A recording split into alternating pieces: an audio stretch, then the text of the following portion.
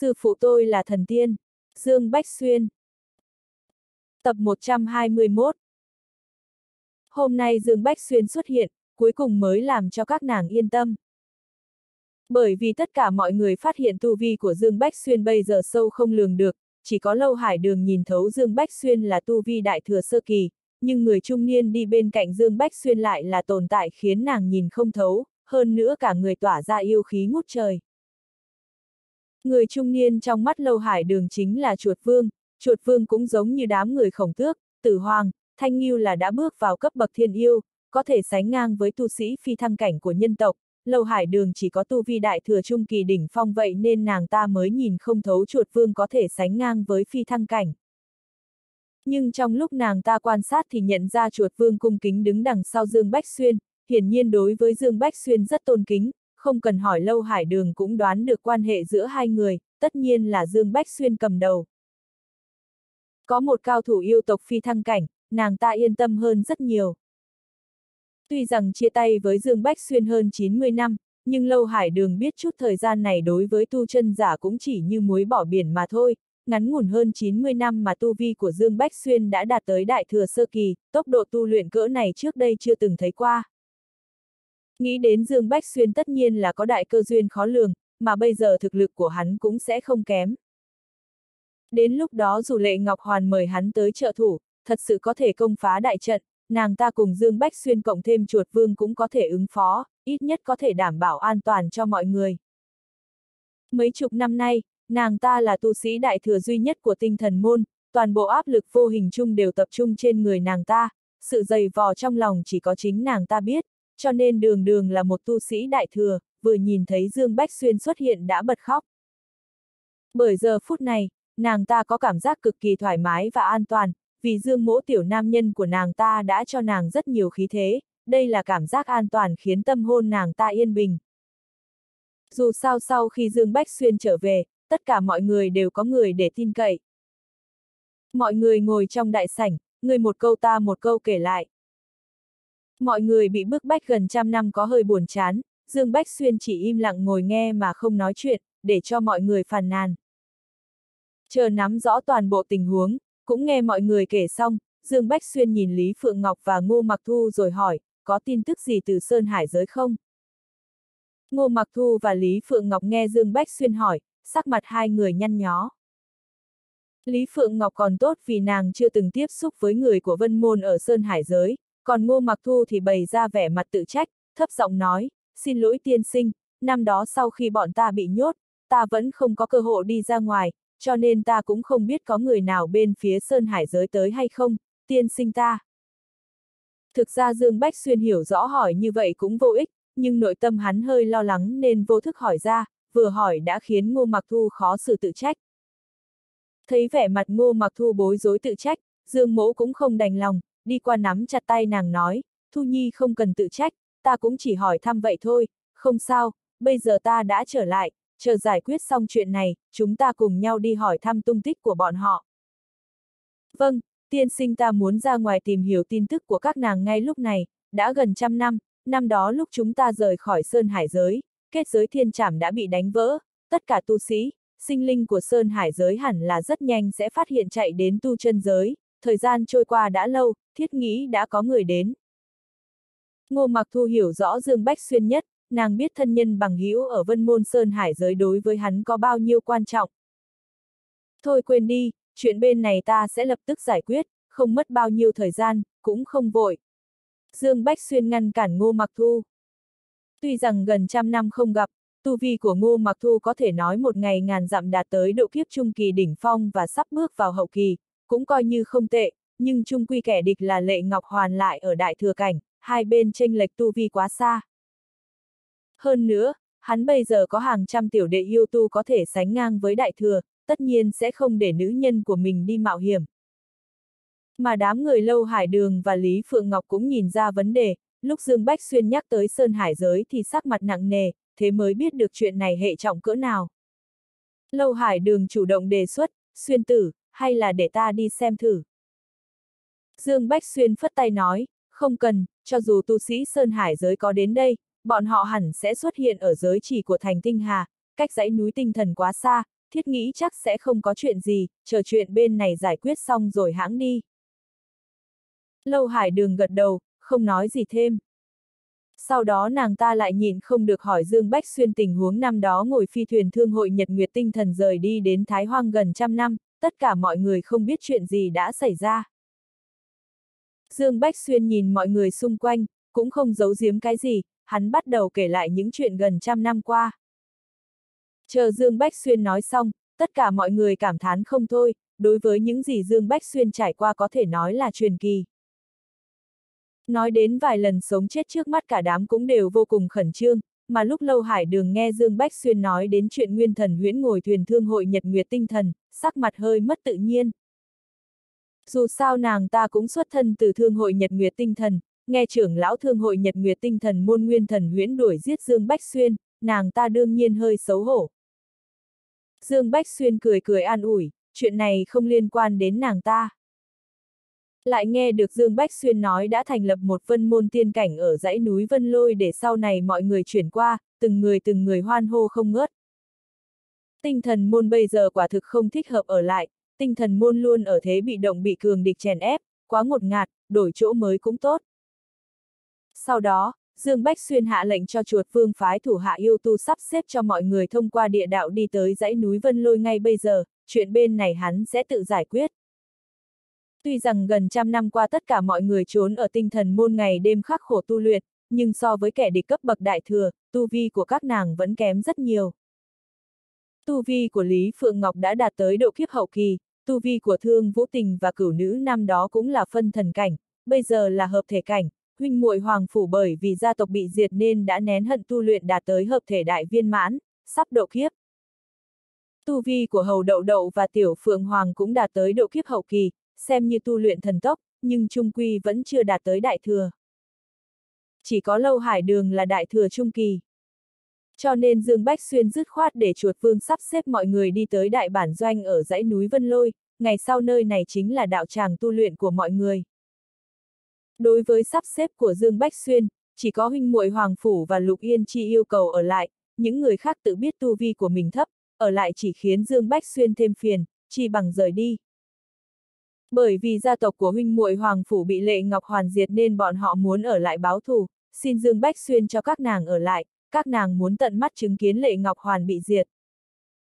Về phần lâu hải đường có tu vi đại thừa trung kỳ nên đương nhiên nàng ta muốn ở lại hỗ trợ, điểm này Dương Bách Xuyên đồng ý. Còn có Ngô Mặc Thu kiên quyết ở lại là vì muốn đi theo Dương Bách Xuyên tìm thân nhân bằng hữu ở Sơn Hải giới. Đối với Ngô Mặc Thu, Dương Bách Xuyên vẫn rất yên tâm, nàng có thủ đoạn độc đáo tự do của quỷ tu, có thể ẩn thân, hơn nữa bây giờ hắn vẫn có thể bảo vệ được nàng.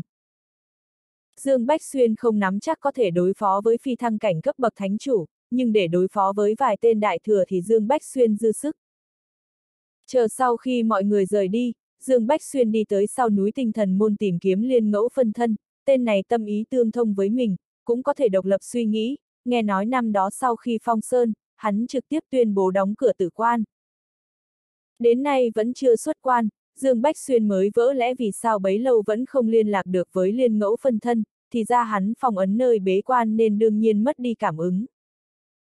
Gần trăm năm rồi, cũng không biết liên ngẫu phân thân lĩnh ngộ tu vi thế nào rồi. Dù sao năm đó sau khi hắn rời đi, cũng đã dặn dò liên ngẫu phân thân tập trung chủ yếu tinh lực để lĩnh ngộ thần thông chiến kỹ của thập nhị trí tôn, hy vọng có thể có thu hoạch. Đối với liên ngẫu phân thân, Dương Bách Xuyên cũng nhìn ra khuyết điểm của mình từ sự việc này, phòng ấn mọi người trong núi để tránh né khi đối mặt với cường địch cũng không sai. Nhưng một lần trốn tránh đã gần trăm năm thì điều này không đúng lắm, điều đáng kinh ngạc nhất chính là tên này lại chọn đóng cửa bế quan, tới giờ vẫn chưa từng ra ngoài.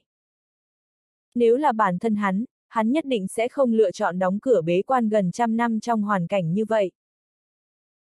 Cho nên, Dương Bách Xuyên cũng nhìn ra nhược điểm của liên ngẫu phân thân. Mặc nó có ý thức và suy nghĩ độc lập, nhưng tư tưởng vẫn khác với bản tôn là hắn. Nói trắng ra thì khá cứng nhắc và không linh hoạt, lần này cần phải có trận pháp kiên cường để bảo vệ núi của tinh thần môn, nếu không, gặp chuyện không may thì cả tinh thần môn đều sẽ bị diệt. Dương Bách Xuyên để lại liên ngẫu phân thân chính là để quyết quyết định, hắn chế giễu nhưng vẫn chọn đóng cửa bế quan. Audio điện tử võ tấn bền. Sau khi đến nơi bế quan của liên ngẫu phân thân, Dương Bách Xuyên phất tay lên tháo bỏ trận pháp, lập tức cảm nhận được liên ngẫu phân thân mà triệu hoán ra. Cùng lúc đó, Dương Bách Xuyên cũng vô cùng kinh ngạc, thế mà lại phát hiện tu vi của liên ngẫu phân thân cũng đã bước vào đại thừa cảnh sơ kỳ. Hắn vung tay lên thu hồi liên ngẫu phân thân vào bản tôn, hai người liên hệ bằng nguyên thần, trên mặt Dương Bách Xuyên tràn ngập vui mừng.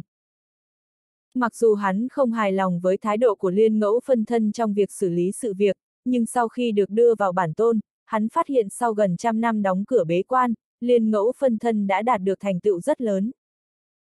Không ngờ nó đã lĩnh ngộ được kỹ thuật thần thông trong thập nhị trí tôn của lão già đến tầng thứ năm. Ngay cả Dương Bách Xuyên cũng chỉ mới lĩnh ngộ được kim cang trí tôn tầng thứ nhất, trường sinh trí tôn tầng thứ hai, còn về thần thông đấu chuyển trí tôn tầng thứ ba vẫn là do được chính thần hồn của lão già truyền thụ, coi như là miễn cưỡng học được. Mà liên ngẫu phân thân đóng cửa bế quan trăm năm đã lĩnh ngộ đến tầng thứ năm. Sau khi dung hợp và giao thoa với nguyên thần của liên ngẫu phân thân, bản tôn của hắn đương nhiên cũng nhận được mọi thứ từ phân thân. Bản thân liên ngẫu phân thân là lực lượng được tách ra từ nguyên thần của hắn, nhưng liên ngẫu phân thân là kỳ vật trí bảo do trời đất sinh ra, cũng là một loại sức mạnh. Mặc dù nó có ý thức và suy nghĩ độc lập, nhưng dù sao nó cũng là một phần của bản thân hắn, cho nên hắn có thể dung hợp với liên ngẫu phân thân bất cứ lúc nào. Sau khi dung hợp liên ngẫu phân thân vào bản tôn, mặc dù cảnh giới tu vi của Dương Bách Xuyên không tăng lên, nhưng thực lực của hắn đã tăng hơn gấp đôi. Đây là lợi ích của việc nuôi dưỡng một phân thân độc lập. Liên ngẫu phân thân lĩnh ngộ được thần thông trí tôn tầng thứ tư và tầng thứ năm, hắn cũng lập tức hiểu ra. Chỉ là rất khó thi triển ra, loại kỹ năng thần thông bậc này đòi hỏi thực lực tu vi rất cao, càng về sau thì càng như vậy. Tuy nhiên, sau khi cảnh giới đại thừa sơ kỳ của hắn dung hợp với phân thân, lúc thi triển cũng không khác biệt lắm. Kỹ thuật thần thông thập nhị trí tôn tầng thứ tư chính là phần thiên trí tôn, cũng là ba đại ấn ký, mà uy lực sẽ phát huy cường đại nhất khi có chân hỏa phù trợ, cũng đúng lúc trong cơ thể Dương Bách Xuyên vừa luyện hóa một viên dao long châu thuộc tính hỏa, nên nếu hắn muốn thi triển ra thì tất nhiên không kém. Tầng thứ năm là lôi đỉnh trí tôn, tác dụng của chiêu này chính là sấm sét, phụ tinh trong cơ thể Dương Bách Xuyên cũng chứa đựng lực lượng sấm sét. Sau đó chỉ trong phút chốc, quả thực gặp đại hỷ, hai chiêu thần thông này như thể được thiết kế riêng cho hắn vậy, nó có cả lực lượng sấm sét và hỏa diễm. Lần này hắn cũng tràn đầy kỳ vọng vào uy lực của hai đại thần thông này. Ngoài ra, sau khi thực sự kết hợp với liên ngẫu phân thân, sức mạnh thân thể cũng được tăng lên rất nhiều, vốn dĩ thân thể của hắn đã đạt đến cảnh giới nhục thân thuần dương dưới sự tôi luyện của cửu cửu thiên kiếp khi hắn sống sót sau đại thiên kiếp, bây giờ hắn có khả năng tương thích với liên ngẫu phân thân lên một cấp độ cao hơn. Thực lực cũng tăng lên rất nhiều. Dầm, dầm, dầm. Ngay lúc Dương Bách Xuyên nhắm mắt lại để cảm ngộ những gì mình nhận được từ liên ngẫu phân thân thì từng tiếng nổ ầm ầm vang lên. Hắn đột nhiên mở mắt ra, trong mắt lóe lên tia sáng. Lúc này, chuột vương đang phi thân đến. Thánh chủ, bên ngoài đại trận hộ sơn có một tu sĩ phi thăng cảnh sơ kỳ, ba tu sĩ đại thừa đã đến đây, đang tấn công đại trận hộ sơn. Khóe miệng Dương Bách Xuyên nhếch lên, diễu cợt nói, ta nghĩ chắc là lệ Ngọc Hoàn đến rồi, chúng ta đi giải quyết các nàng thôi. Dương Bách Xuyên dẫn theo chuột vương đi thẳng ra ngoài núi, vừa đáp xuống cửa núi, lâu hải đường, huynh muội Hoàng Phủ và Ngô Mặc Thu cũng đã đến rồi. Thấy Dương Bách Xuyên đến đây, sắc mặt lâu hải đường chính trọng nói, Xuyên tử, là đám người lệ Ngọc Hoàn, mỗi tháng bọn họ đều lên đây tấn công Sơn Môn, lần này còn đến sớm vài ngày, ta nghĩ là bên ngoài kia đang có một gã phi thăng cảnh viện trợ bọn họ, chúng ta phải làm sao đây? Ha ha, không cần lo, lần này ta sẽ cho bọn thấy biết thế nào là có đi mà không có về, dám bắt nạt nữ nhân và bằng hữu của Dương Bách Xuyên ta, ta thấy Thái huyền tông này cũng nên diệt phong rồi. Dương Bách Xuyên không quan tâm chút nào. Chưa nói đến thực lực hiện tại của bản thân hắn thế nào, chỉ cần có một chuột vương và ba vạn chuột yêu ngũ hành tộc ở bên cạnh là đủ rồi. Xem ra lâu hải đường vẫn còn hơi lo lắng, bên ngoài có một đại thừa trung kỳ, hai đại thừa hậu kỳ và một phi thăng cảnh sơ kỳ tồn tại đấy. Mà số người có thể xuất thủ bên phe bọn họ chỉ có nàng ta và Dương Bách Xuyên, và lại, nàng ta là đại thừa trung kỳ đỉnh phong, cùng lắm chỉ có thể đối phó với một đại thừa hậu kỳ. Còn tu vi của Dương Bách Xuyên là đại thừa sơ kỳ, Lâu Hải Đường rất lo lắng Dương Bách Xuyên không phải là đối thủ của bất kỳ người nào ở đây. Về phần chuột vương thì có thể sánh ngang với phi thăng cảnh, nhưng theo Lâu Hải Đường thấy cũng chỉ có thể không chế một tu sĩ phi thăng cảnh. Giữa hai bên có sự chênh lệch rất lớn cả về chất lượng và số lượng, cho nên Lâu Hải Đường rất lo lắng, trong lòng nàng ta suy nghĩ, bằng bất cứ giá nào nàng ta cũng phải luyện hóa được hai tên, dù sao nàng ta cũng không muốn Dương Bách Xuyên bị thương.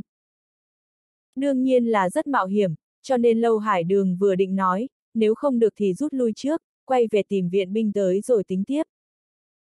Nhưng vào đúng lúc này, sau đó Dương Bách Xuyên chỉ ném ra một câu nói, tiểu tỷ tỷ, chăm sóc tốt cho đám người thu nhi, phần còn lại cứ giao cho ta và chuột vương. Vừa dứt lời, hắn đã phất tay, trực tiếp mở đại trận hộ sơn ra rồi bay ra ngoài. Xuyên tử.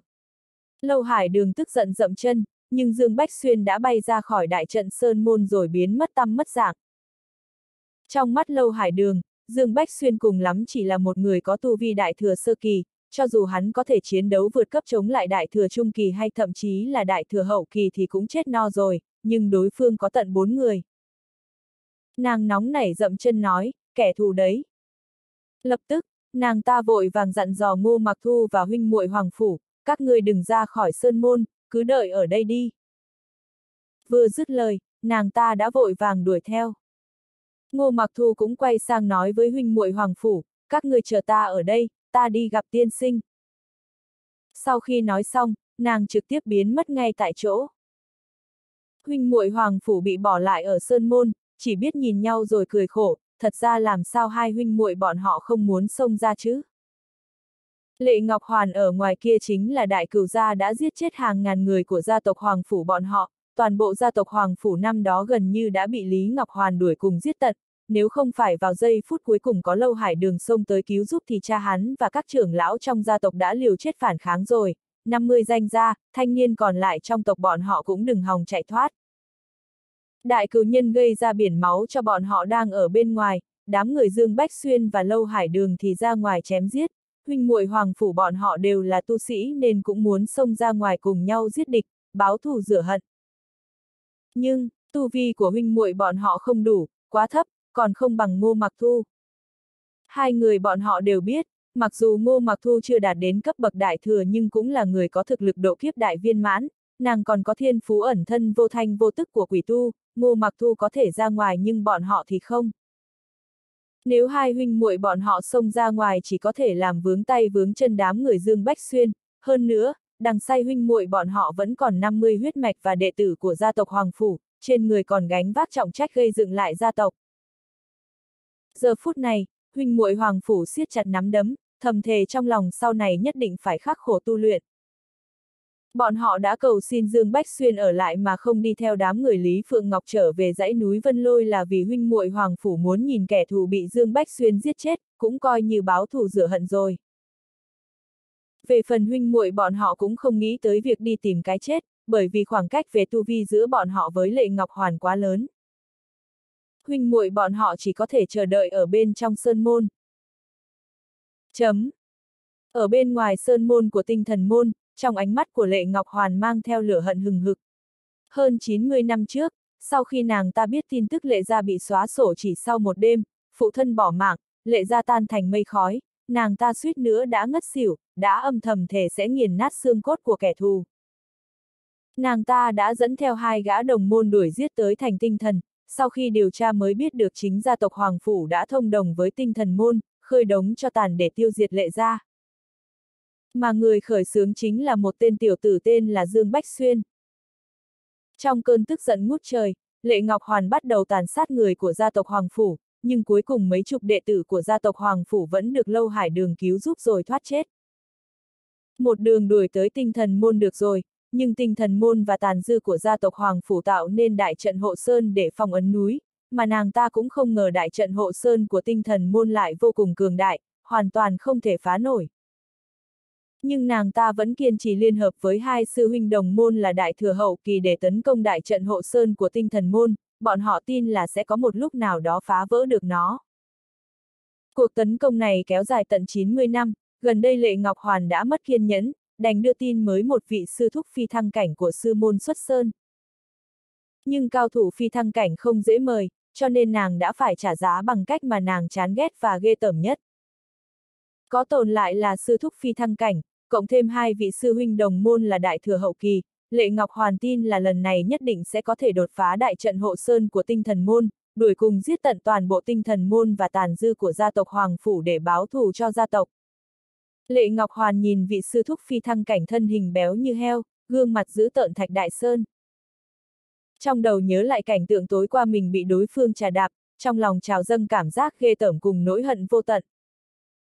Nàng ta bái lại một vị sư phụ rất mạnh ở Thái Huyền Tông, nhưng thật không may, trăm năm trước sư phụ của nàng ta đã mất mạng trong cuộc chiến giữa Thái Huyền Tông và một tông tôn hàng đầu. Thái Huyền Tông là tông môn đỉnh cấp chỉ đứng sau thánh địa, số lượng môn đồ đệ tử lên đến mấy chục vạn. Mặc dù Lệ Ngọc Hoàn có tu vi đại thừa trung kỳ, nhưng không có sư phụ che chở thì ở Thái Huyền Tông chẳng khác nào bèo trôi không dễ. Hơn nữa, Lệ Ngọc Hoàn trời sinh quyến rũ, có không ít người theo đuổi nàng ta. Sư huynh đồng môn có cùng tu vi thì nàng ta còn có thể dở thủ đoạn, dẫn theo bên cạnh trợ giúp cho mình. Nhưng cao thủ cấp bậc phi thăng cảnh thì khó mời xuống núi. Hơn nữa, cao thủ cấp bậc phi thăng cảnh chưa chắc động lòng trước sắc đẹp, rất giỏi kiềm chế. Nàng ta chỉ có thể mời được vị sư thúc béo chết tiệt cực kỳ buồn nôn này. Một là để báo thù cho gia tộc, hai là Lệ Ngọc Hoàn cũng muốn tìm cho mình một chỗ dựa vững chắc trong tông môn, cho nên nàng ta dứt khoát hy sinh thân thể đổi lấy cục diện hiện tại.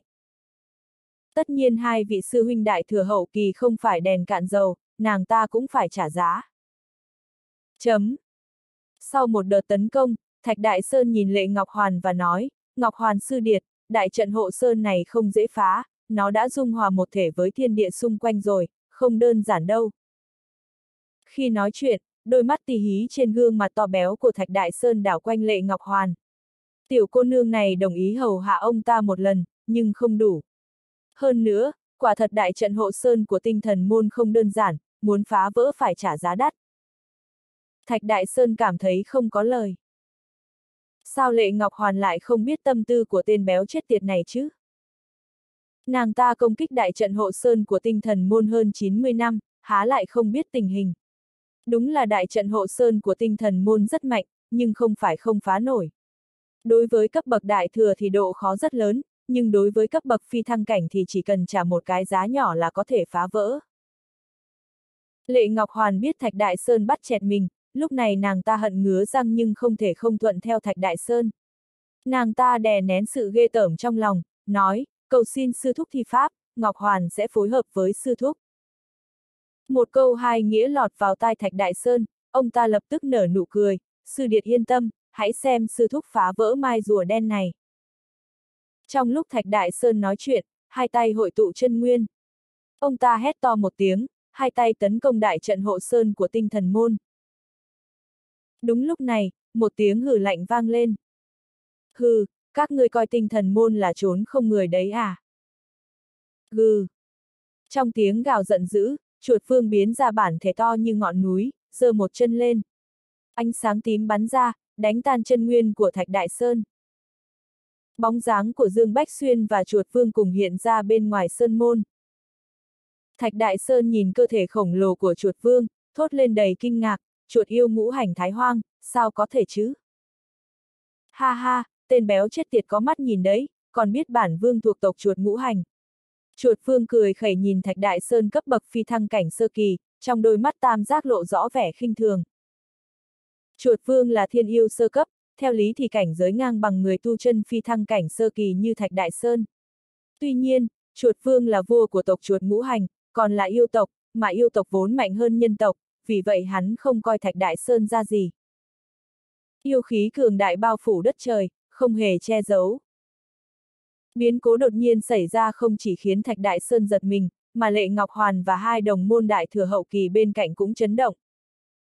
Ngay sau đó, tầm mắt Lệ Ngọc Hoàn khóa chặt vào người Dương Bách Xuyên. Năm xưa khi giết chết đệ tử của gia tộc Hoàng Phủ, nàng ta đã tiến hành siêu hồn. Trong ký ức của đối phương có Dương Bách Xuyên kẻ đầu sỏ khiến nhà họ Lệ bị diệt cả nhà. Lúc này, Lệ Ngọc Hoàn bùng lên sát ý, gần giọng hỏi, người chính là Dương Bách Xuyên. Dương Bách Xuyên vừa ra tới cũng quan sát xung quanh. Ở đây chỉ có một nữ nhân duy nhất, hắn biết nàng ta chính là Lệ Ngọc Hoàn, con gái của Lệ Thanh Thiện. Thấy Lệ Ngọc Hoàn phóng sát ý, Dương Bách Xuyên cười nhạt, đúng, ta chính là Dương Bách Xuyên. Lệ Ngọc Hoàn con gái nhà họ Lệ, ngưỡng mộ đã lâu. Tiểu tặc để lại mạng đi, kẻ thù gặp nhau đỏ mắt, Lệ Ngọc Hoàn lập tức nói với hai vị sư huynh đại thừa hậu kỳ, hai vị sư huynh giết Dương Bách Xuyên trước đi, còn yêu thú kia giao cho sư thúc. Thấy Dương Bách Xuyên chỉ có tu vi đại thừa sơ kỳ, hai tu sĩ đại thừa hậu kỳ không thèm để vào mắt. Là người theo đuổi Lệ Ngọc Hoàn, tất nhiên lúc này bọn họ phải thể hiện. Trong mắt hai người này, Dương Bách Xuyên chỉ là đại thừa sơ kỳ mà bọn họ hoàn toàn có thể nghiền ép. Bọn họ đều có tu vi đại thừa hậu kỳ, cho rằng nhắm mắt cũng có thể bóp chết Dương Bách Xuyên. Để lấy lòng lệ Ngọc Hoàn, hai tu sĩ đại thừa hậu kỳ tranh nhau xông về phía Dương Bách Xuyên. Hai mắt lệ Ngọc Hoàn lấp lóe, nàng ta bước thật chậm, không vội tiến lên. Bởi vì trực giác của nữ nhân mách bảo Dương Bách Xuyên vô cùng nguy hiểm, có lẽ hắn không phải là tu sĩ đại thừa sơ kỳ đơn giản như bề ngoài. Vì thế, Lệ Ngọc Hoàn xúi dục hai vị sư huynh tinh trùng lên não sông lên để thử trình độ của Dương Bách Xuyên trước, sau đó mới xem xét tình hình. Nàng ta tấn công hơn 90 năm mà không thấy đối phương không xuất hiện, nhưng hôm nay đột nhiên mở ra đại trận hộ sơn của tinh thần môn thì Dương Bách Xuyên lại xuất hiện, hơn nữa bên cạnh còn có chuột yêu ngũ hành tương đương phi thăng cảnh. Từ điểm này Lệ Ngọc Hoàn thấy Dương Bách Xuyên không bình thường, cho nên nàng ta thả chậm bước chân, vô cùng cẩn thận. Chấm.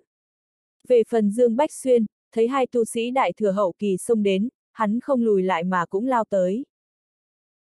Tuy hắn chỉ có tu vi đại thừa sơ kỳ, nhưng hắn không phải là đại thừa sơ kỳ bình thường. Huống hồ vừa rồi hắn còn thu hồi liên ngẫu phân thân, sức mạnh trong cơ thể tăng vọt. Liên ngẫu phân thân lại lĩnh ngộ được thần thông chiến kỹ tầng thứ tư và tầng thứ năm của thần thông thập nhị trí tôn. Dương Bách Xuyên cũng không coi hai tu sĩ đại thừa hậu kỳ này ra gì. Trong lòng cười khẩy, vừa hay thử thần thông vừa mới lĩnh ngộ.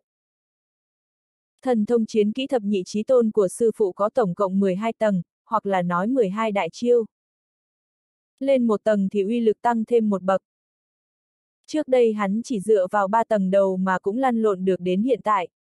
Bây giờ thực lực tu vi tăng tiến, hắn đã lĩnh ngộ được tầng thứ tư và tầng thứ năm, uy lực càng tăng thêm một bậc. Thật sự là hắn không thèm để hai tu sĩ đại thừa hậu kỳ vào mắt. Chấm. Bên kia, lão yêu quái chuột vương đã sống mấy vạn năm nhìn chằm chằm tên béo Thạch Đại Sơn, trong đôi mắt tím tràn đầy khinh thường. Ban đầu một người một yêu rằng co, nhưng sau khi chuột vương thấy Dương Bách Xuyên ra tay, lão ta nở nụ cười quái dị nói, tên béo ti tiện, bản tôn tiễn ngươi lên trầu trời nhé. Chuột vương nói xong, toàn thân phát ra ánh sáng tím ập về phía Thạch Đại Sơn, đồng thời giống to, ngũ hành thôn thiên. Gừ. Chỉ thấy cơ thể khổng lồ như ngọn núi nhỏ của chuột vương bắt đầu chuyển động.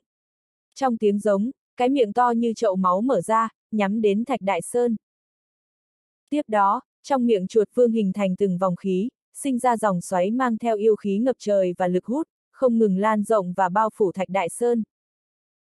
Đây là thần thông thiên phú xuất hiện trong truyền thừa huyết mạch sau khi chuột vương thăng cấp thiên yêu, ngũ hành thôn thiên. Tên là thôn thiên, mặc dù với tu vi hiện tại, chuột vương vẫn chưa thể thôn thiên, nuốt trời, nhưng đối phó với một tu sĩ phi thăng cảnh thì dư sức.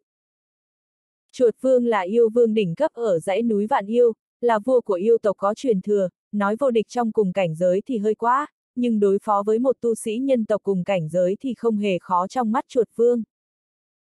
Thạch Đại Sơn cảm nhận được yêu khí ngập trời, hình như mạnh hơn pháp lực của ông ta rất nhiều.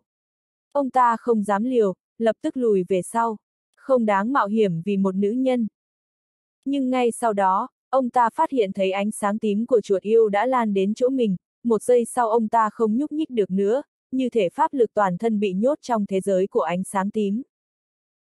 Tiếp đó, chuyện kinh khủng hơn xuất hiện, một lực hút cực lớn truyền tới, ông ta nhìn thấy chuột yêu mở to miệng, phát ra lực hút đáng sợ. Thạch Đại Sơn sợ xanh mặt, nhưng ông ta không nhúc nhích được.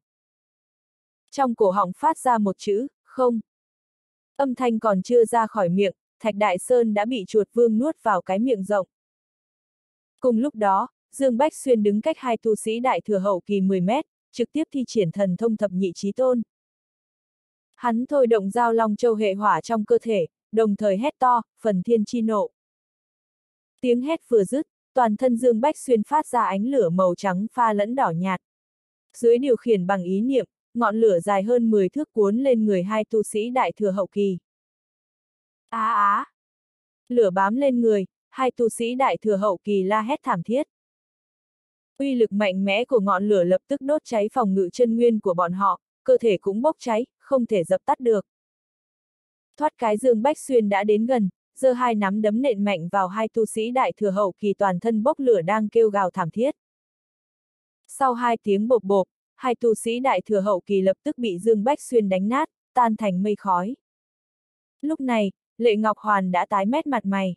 Nàng ta trốn phía sau, tận mắt trông thấy hai sư huynh và sư thúc Thạch Đại Sơn bị tiêu diệt chỉ trong nháy mắt. Trên người lập tức phát ra ánh sáng đỏ như máu, nàng ta dứt khoát sử dụng thuật huyết độn chạy trốn, nháy mắt đã biến mất. Dương Bách Xuyên lạnh lùng hừ mũi, thoát được chắc. Dương Bách Xuyên thấy Lệ Ngọc Hoàn dùng huyết độn chạy trốn thì cười gằn, lẩm bẩm một tiếng, cũng không vội đuổi theo. Bởi vì tu sĩ cấp bậc đại thừa dùng huyết độn chạy trốn thì người khác không thể đuổi kịp trong một chốc một lát được. Dù sao hắn cũng có thần thức cường đại, cho dù để mặc Lệ Ngọc Hoàn trốn thoát, hắn cũng có biện pháp tìm ra. Dương Bách Xuyên gần như giết hai tu sĩ đại thừa hậu kỳ chỉ trong nháy mắt. Tu vi của mình mạnh như vậy cũng nằm trong dự đoán của tên họ Dương nào đó. Hắn vốn có nền tảng vượt xa tu sĩ bình thường, cộng thêm sức mạnh của liên ngẫu phân thân, vậy là hiệu quả nhân đôi. Hắn tu công pháp mạnh nhất, luyện thần thông mạnh nhất. Hắn dùng tu vi đại thừa sơ kỳ giết chết hai tu sĩ đại thừa hậu kỳ là chuyện quá bình thường. Dương Bách Xuyên quay đầu nhìn, chuột vương đã đánh xong, tên béo phi thăng cảnh đến cặn cũng chẳng còn. Chỉ có lệ Ngọc Hoàn đã trốn mất tiêu, Dương Bách Xuyên thấy không đáng lo, và lại hắn cũng không có ý định tha cho lệ Ngọc Hoàn. Nữ nhân này là con cháu nhà họ lệ, năm xưa hắn tiêu diệt nhà họ lệ đã kết tử thù, nhất định phải giết chết lệ Ngọc Hoàn. Hơn nữa, Dương Bách Xuyên thấy lệ Ngọc Hoàn có tu vi yếu nhất trong bốn người, vậy mà bên cạnh lại có một cao thủ phi thăng cảnh sơ kỳ và hai tu sĩ đại thừa hậu kỳ vây quanh, nữ nhân này tuyệt đối không đơn giản. Hơn nữa, vừa rồi trong lúc chiến đấu, Dương Bách Xuyên phát hiện ra lệ Ngọc Hoàn cố ý đi chậm lại, điều này cho thấy nàng ta là một nữ nhân rất mưu mô. Dương Bách Xuyên không sợ kẻ địch mạnh, chỉ sợ hạng người lắm mưu mô. Vì vậy, hắn kiên quyết không tha cho lệ Ngọc Hoàn. Mầm họa hơn 90 năm để lại không thể tái diễn. Chấm. Trong lúc Dương Bách Xuyên và Chuột Vương ra tay, Lâu Hải Đường và Ngô Mặc Thu cũng chạy ra. Vốn dĩ Lâu Hải Đường còn sợ Dương Bách Xuyên chịu thiệt, nào ngờ vừa ra đã trông thấy cảnh tượng Dương Bách Xuyên bộc phát thần uy, trong lòng chấn động. Tiểu oan ra, mình lo bò trắng răng rồi. Lâu Hải Đường lẩm bẩm xong thì cười gượng. Ngô Mặc Thu trong trạng thái ẩn thân ở bên cạnh cũng hiện ra, gieo lên một câu, tiên sinh siêu đỉnh. Dương Bách Xuyên nhìn về phía lệ Ngọc Hoàn chạy đi, nói với chuột vương, truyền lệnh cho ba người tử hoàng, khổng tước, thanh nghiêu dẫn theo một nhóm yêu binh đến tinh thần môn tập hợp, tốc độ nhanh chút. Vâng, thuộc hạ sẽ thông báo ngay. Chuột vương khom lưng nhận lệnh, sau đó lập tức gọi một chuột yêu ngũ hành đến dãy núi Vân Lôi truyền lệnh. Mà Dương Bách Xuyên thì khoanh chân ngồi xuống, nói với Lâu Hải Đường và Ngô Mặc Thu, hộ pháp cho ta, ta muốn tìm tung tích của Lệ Ngọc Hoàn. Nói xong hắn thầm niệm trong đầu, nguyên thần xuất khiếu. Hắn biết sau khi tu sĩ đại thừa trung kỳ sử dụng huyết đột, cho dù hắn dùng thần thông tuấn di cũng chưa chắc đuổi kịp.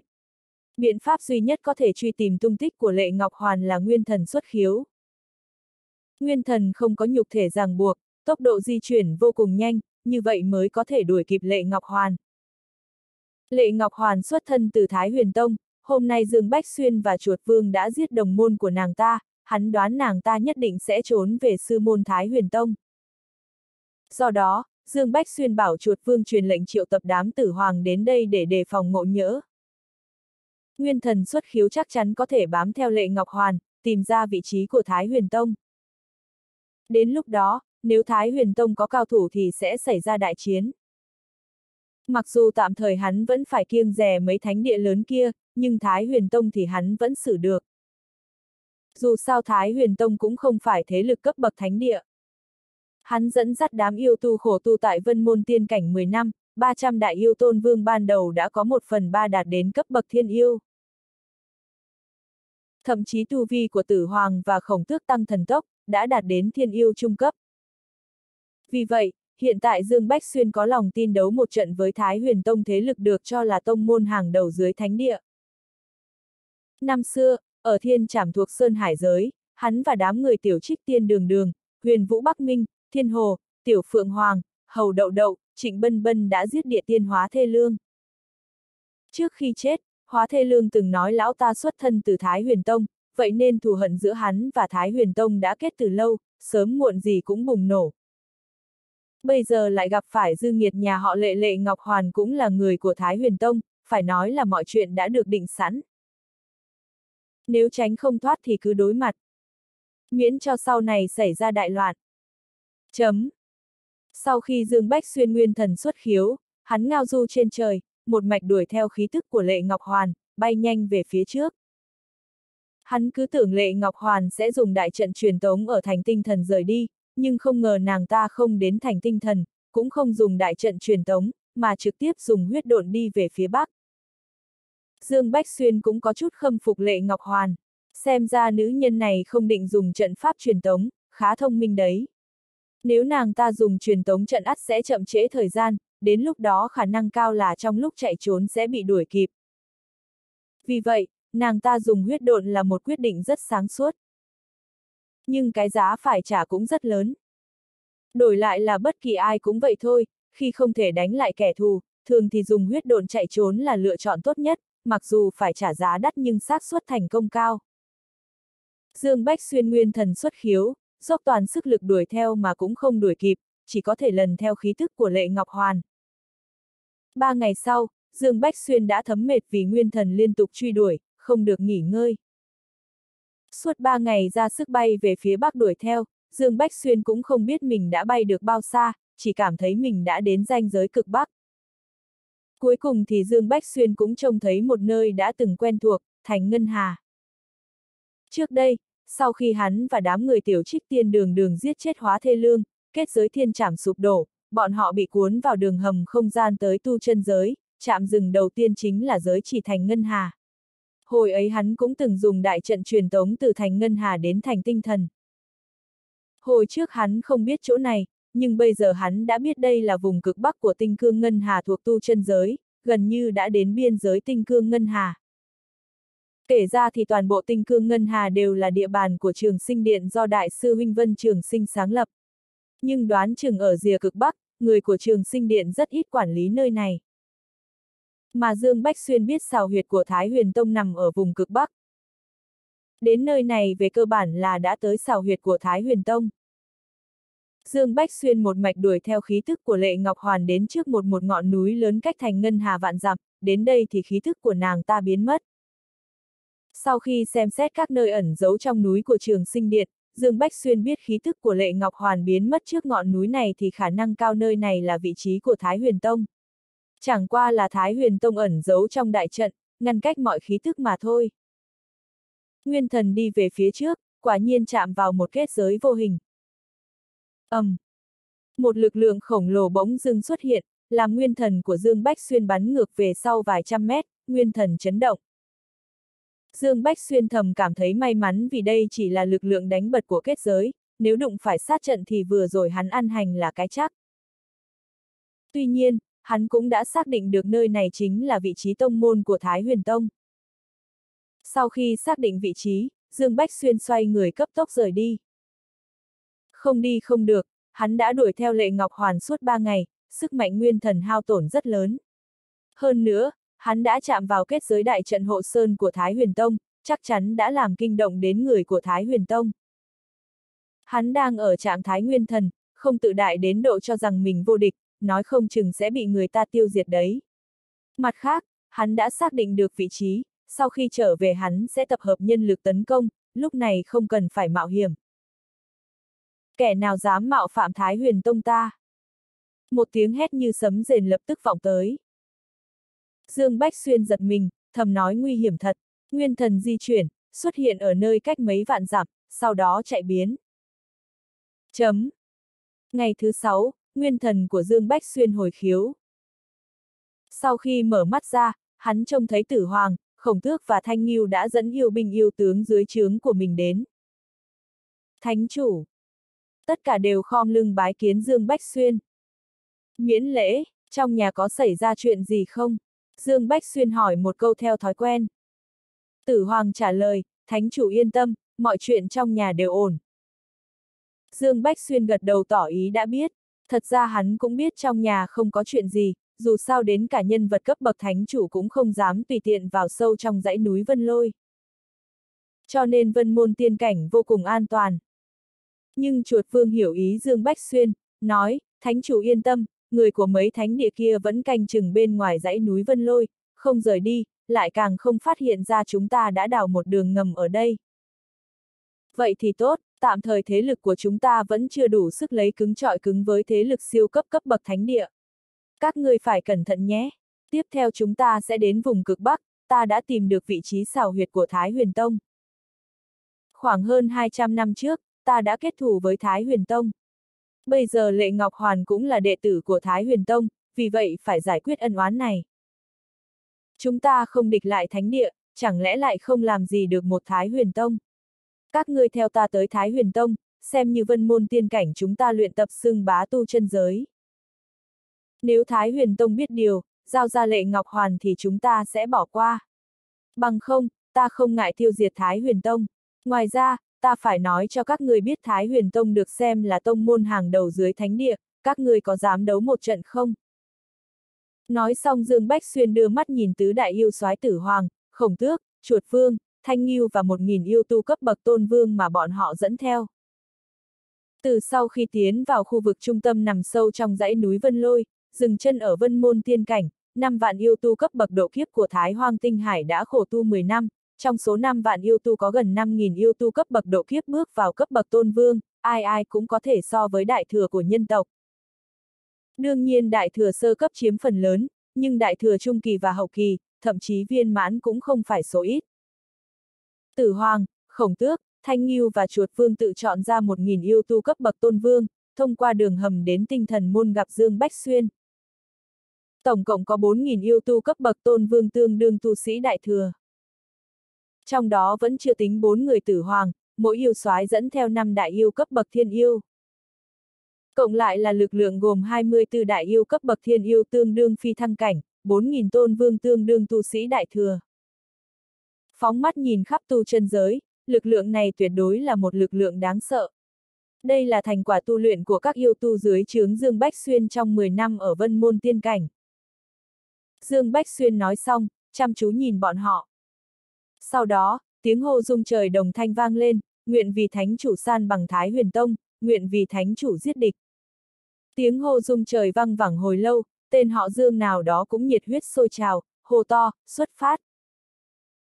Sau khi bay ra khỏi phạm vi tinh thần môn, Dương Bách xuyên thu tất cả yêu tu vào trong không gian hồ càn khôn, hơn 4.000 đại yêu bay trên trời thật sự quá rêu rao.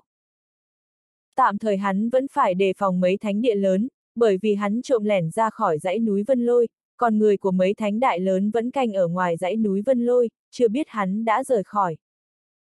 Nếu quá rêu rao bị bọn họ phát hiện, chắc chắn sẽ đến bao vây tấn công hắn. Dương Bách Xuyên biết hiện tại lực lượng của mình chưa đủ để đối phó với mấy thánh địa lớn, còn khoảng 90 năm nữa mới đến hết thời gian tu luyện trăm năm, sau khi tu luyện tròn trăm năm, hắn và các yêu tu sẽ va chạm chính diện với các thế lực lớn. Sau khi giải quyết xong Thái Huyền Tông, hắn sẽ trở về tu luyện. Lý do nhằm vào Thái Huyền Tông, một phần là do Lệ Ngọc Hoàn, một phần nơi này là Thành Ngân Hà, mà Thành Ngân Hà là địa bàn của Thái Huyền Tông. Tu sĩ Sơn Hải giới muốn đi qua thiên trảm để đi vào giới chỉ thành ngân hà của tu chân giới. Nếu không xử lý xong Thái Huyền Tông, sẽ uy hiếp đến các tu sĩ Sơn Hải giới, mà bạn bè người thân của hắn gần như đều ở vân môn Sơn Hải giới. Chấm. Sau khi thu tất cả các đại yêu vào trong không gian hồ càn khôn, bên cạnh Dương Bách Xuyên chỉ còn lại Lâu Hải Đường, Ngô Mặc Thu và huynh muội Hoàng Phủ.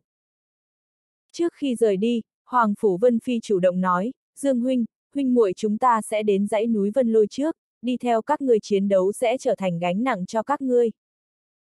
Dương Bách Xuyên hơi ngạc nhiên, ban đầu huynh muội Hoàng Phủ Vân Phi chết sống không đi, nói muốn tận mắt nhìn thấy Lệ Ngọc Hoàn đền tội, bây giờ lại chủ động muốn đi đến dãy núi Vân Lôi. Nhưng Dương Bách Xuyên sẽ tôn trọng ý kiến của huynh muội Hoàng Phủ. Năm đó ở tử lầu tinh thần gặp gỡ huynh muội Hoàng Phủ, biết được Hoàng Phủ gia tộc và Lệ gia là đối thủ một mất một còn, chính hắn đã cổ động Hoàng Phủ Vân Phi liên thủ với mình diệt Lệ gia. Bây giờ Hoàng Phủ gia tộc bị hủy diệt, Dương Bách Xuyên có chút thẹn với huynh muội Hoàng Phủ. Năm đó Hoàng Phủ gia tộc liên thủ với mình cũng vì lợi ích gia tộc, song việc hắn cho Hoàng Phủ gia tộc tiếp quản thành tinh thần, trở thành thành chủ. Đáng tiếc Hoàng Phủ gia tộc chưa ngồi được mấy ngày đã bị Lệ Ngọc Hoàn hủy diệt. May mắn huynh muội Hoàng Phủ và 50 con cháu của Hoàng Phủ gia tộc bị Lâu Hải Đường cứu ra, không để Hoàng Phủ gia tộc tuyệt hậu. Cuối cùng sẽ có ngày bọn họ xây dựng lại gia tộc. Dương Bách Xuyên chưa bao giờ coi huynh muội Hoàng Phủ là cấp dưới, hắn luôn coi bọn họ như bạn bè nên Dương Bách Xuyên rất tôn trọng quyết định của bọn họ. Gật đầu, Dương Bách Xuyên trịnh trọng nói, ta hứa với các ngươi, chắc chắn sẽ sách đầu của Lệ Ngọc Hoàn về cho các ngươi, tế điện cho Hoàng Phủ gia tộc. Cảm ơn Dương Huynh, chúng ta cáo từ trước, đến vân môn tiên cảnh chờ các ngươi chiến thắng trở về. Hoàng Phủ Vân Phi ôm quyền nói lời cảm ơn. Thật ra hắn biết rõ bọn họ đi theo Dương Bách Xuyên, ngoại trừ kéo chân không giúp được gì cả. Hôm nay được tận mắt nhìn thấy thực lực của Dương Bách Xuyên, còn nhìn thấy hơn 4.000 đại yêu xuất hiện, tất cả đều gọi Dương Bách Xuyên là thánh chủ, Hoàng Phủ Vân Phi biết Dương Bách Xuyên chắc chắn có thể giết được Lệ Ngọc Hoàn. So với việc đi theo kéo chân sau, còn không bằng đến vân môn tiên cảnh tu luyện, xây dựng thực lực của bản thân. Nếu thực lực của hắn đủ cường đại, hôm nay hắn sẽ tự tay báo thù cho gia tộc. Nhưng thực lực của bọn họ quá yếu, còn không bằng trở về tu luyện. Chấm. Dương Bách Xuyên triệu hoán một chuột yêu ngũ hành dẫn huynh muội hoàng phủ rời đi, sau đó hắn và Lâu Hải Đường, Ngô Mặc Thu bay về phía thành tinh thần. Lần này đi không bị nguyên thần đuổi bắt, hắn chuẩn bị dùng truyền tống trận đến thẳng thành Ngân Hà. Tiết kiệm được thời gian và sức lực. Sau khi đến thành tinh thần, Dương Bách Xuyên thả năm đại yêu cấp thiên yêu ra, ra lệnh chém giết lệ Ngọc Hoàn, sau đó tìm thành chủ mới cai quản thành tinh thần, phái hai thiên yêu chấn giữ, lúc này mới rời đi. Mặc dù đã di chuyển đám người Lý Phượng Ngọc và Thương Vũ Tình cùng với các đệ tử của tinh thần môn đến vân môn tiên cảnh. Nhưng dù sao tinh thần môn cũng do nhị sư huynh tinh thần tử sáng tạo. Cho nên hắn vẫn muốn nắm chặt trong tay, sau này đi đến tiên giới cũng dễ ăn nói với nhị sư huynh tinh thần tử hơn. Đối với hắn, chấn giữ dãy núi tinh thần là chuyện dễ như trở bàn tay, không hề khó khăn. Chấm. Truyền tống trận lóe lên, ba người xuất hiện ở điểm truyền tống của Thành Ngân Hà. Dương Bách Xuyên cũng không biết quá rõ về Thành Ngân Hà nên hỏi Lâu Hải Đường, tiểu tỷ tỷ, Thành Ngân Hà có phải nói quản lý trực tiếp của Thái Huyền Tông hay không? Lâu Hải Đường nói, toàn bộ cực Bắc Tinh Cương Ngân Hà đều là địa bàn của Thái Huyền Tông. Thái Huyền Tông là tông môn đứng đầu, chỉ thấp hơn thánh địa, thế lực không nhỏ, trong tông môn có địa tiên tam chuyển, cảnh giới phi thăng cũng nhiều hơn tông môn bình thường. Trong tinh cương ngân hà, bên ngoài do trường sinh điện quản lý, nhưng Thái Huyền Tông lại là ngoại lệ. Nghe nói Thái Huyền Tông ở bên cạnh tinh cương ngân hà nên trường sinh điện không quản. Bởi vậy Thái Huyền Tông là hoàng đế ở đây, có quyền lực tuyệt đối, chúng ta vẫn phải cẩn thận, dù sao nơi này cũng là tông môn đứng đầu dưới thánh địa. Dương Bách Xuyên suy nghĩ rồi nói, đi tìm một chỗ ngồi tìm hiểu tình hình đã. Dù sao cũng đến rồi, không nóng này. Hang ổ chân chính của Thái Huyền Tông cách thành Ngân Hà xa vạn dặm, trên dãy núi cũng có đại trận bảo vệ núi, muốn tấn công cũng không dễ. Chúng ta phải đi tìm hiểu tình hình danh tiếng của Thái Huyền Tông, ngoài ra còn phải hỏi thăm xem gần trăm năm nay có người của Vân Môn Sơn Hải giới đến tu chân giới hay không. Tiên sinh, ta đi thăm dò một chút, Ngô Mặc Thu nói. Dương Bách Xuyên biết Ngô Mặc Thu tu quỷ đạo, thiên phú ẩn thân vô cùng lợi hại, để nàng đi tìm hiểu qua cũng được, gật đầu nói, đi đi, cẩn thận chút. Sau khi rời khỏi, Dương Bách Xuyên và Lâu Hải Đường sóng vai cùng đi. Nghe Dương Bách Xuyên nói vậy, Lâu Hải Đường nói, nếu không chúng ta đi đến phân bộ của Thương hội Nhật Nguyệt Tinh Thần thành Ngân Hà. Thương hội Nhật Nguyệt Tinh Thần là một trong 10 thương hội lớn nhất tu chân giới, có hệ thống tình báo riêng, có khi sẽ biết được một ít chuyện về Sơn Hải giới. A. À, Dương Bách Xuyên nghe lời đề nghị của Lâu Hải Đường, có hơi ngạc nhiên. Lâu Hải Đường nhìn thấy sắc mặt của Dương Bách Xuyên, lập tức hiểu ra, biết nỗi băn khoăn của hắn. Bởi vì Dương Bách Xuyên từng nói qua chuyện giữa hắn và Nguyên Thần Huyễn ở Thái Hoang. Bởi vì Nguyên Thần Huyễn là người của Thương hội Nhật Nguyệt Tinh Thần, lại bị Dương Bách Xuyên giết chết trong Thái Hoang. Lâu Hải Đường cười nói, không cần lo chuyện giữa ngươi và Nguyên Thần Huyễn, không ai biết chuyện ngươi giết chết Nguyên Thần Huyễn trong Thái Hoang, cho dù biết cũng không sai, thật ra Nguyên Thần Huyễn chỉ là một trưởng lão cung phụng, ở Nhật Nguyệt Tinh Thần, ta vẫn có chút mặt mũi, không cần lo lắng. Dương Bách Xuyên nghe ra được địa vị của Lâu Hải Đường ở trong thương hội không tầm thường, hỏi, tại sao ta không cần lo lắng? Cho dù Nguyên Thần Huyễn là trưởng lão cung phụng của thương hội Nhật Nguyệt Tinh Thần, nhưng cũng là trưởng lão, sao ngươi dẹp yên được? Lâu Hải Đường cười nói, mặc dù sư phụ ta không còn, nhưng lúc sinh thời người chính là trưởng lão trung tâm của thương hội, vẫn còn mấy người bạn tốt. Chẳng qua sau khi sư phụ mất, ta chưa từng đi cầu xin mấy người bạn đó. Hơn nữa ta và tiểu công chúa của thương hội lớn lên cùng nhau từ nhỏ, cho nên không cần để ý đến một nguyên thần huyễn.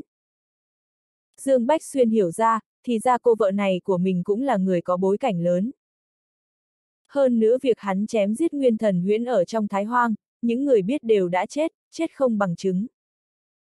Cũng được, chúng ta đi đến Thương hội Nhật Nguyệt Tinh Thần hỏi thăm tin tức về Sơn Hải giới. Dương Bách Xuyên nói. Chấm. Lâu Hải đường dẫn Dương Bách Xuyên đi đến phân bộ Thương hội Nhật Nguyệt Tinh Thần ở thành Ngân Hà. Quả nhiên Lâu Hải đường cũng có chút địa vị, lấy ra một tấm lệnh bài, hội trưởng phân bộ thành Ngân Hà đích thân tiếp đón, khách khí sắp xếp cho hai người ở phòng thượng đẳng.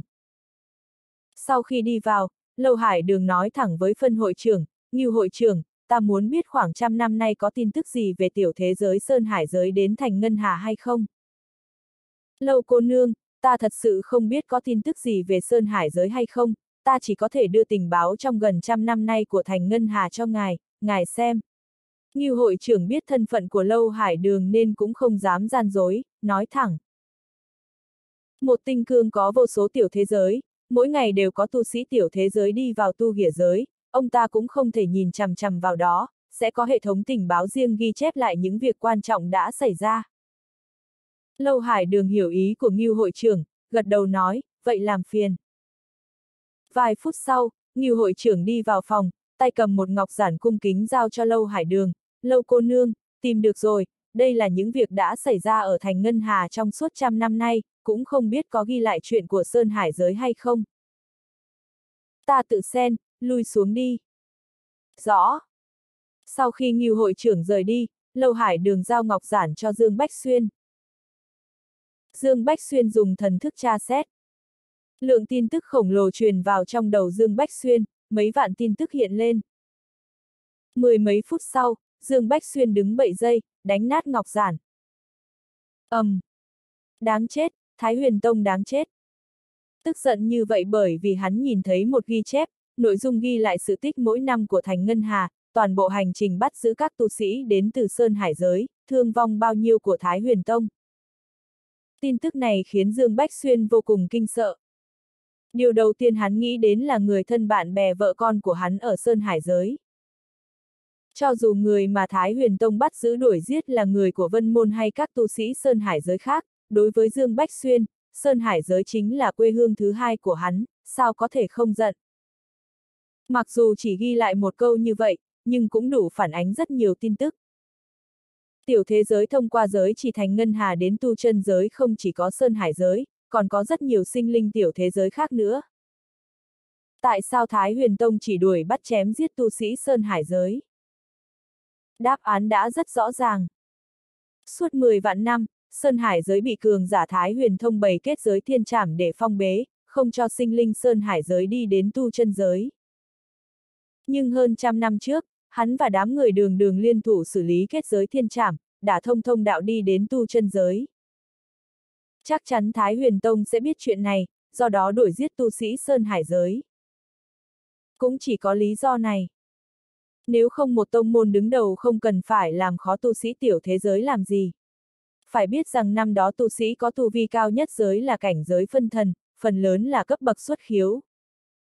Thái huyền tông lại là thế lực lớn chỉ dưới mỗi thánh địa, đối với tu sĩ Sơn Hải giới, một tu sĩ bất kỳ của Thái huyền tông cũng là cao thủ.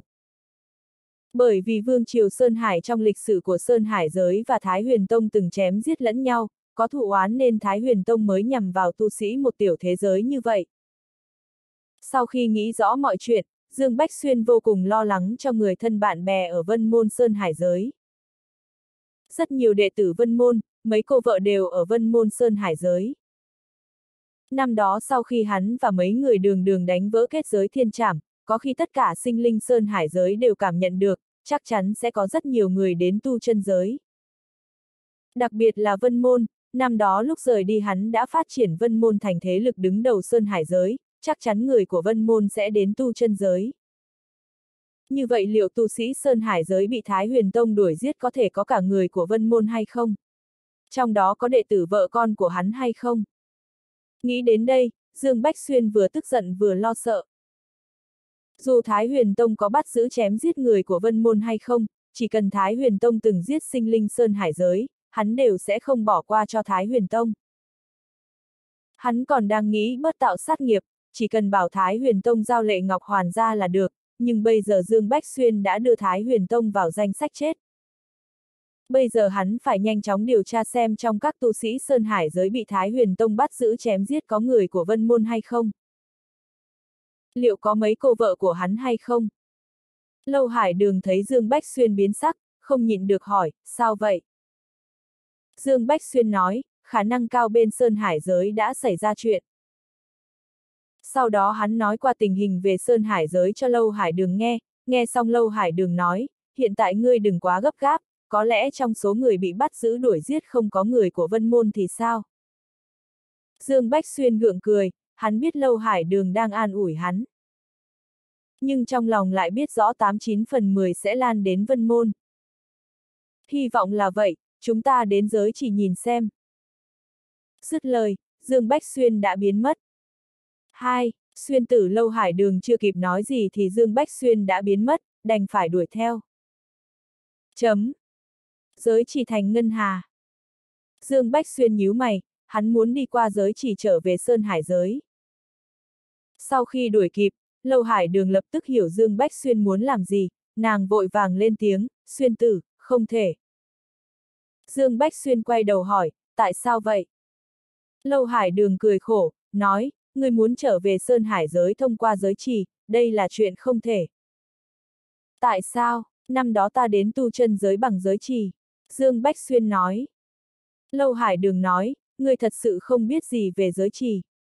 Trên lý luận giới trì này ở Trung ương tinh cương Ngân Hà, một tinh cương bao gồm 3.000 tiểu thế giới, còn chưa tính một vài tiểu thế giới không có sinh linh.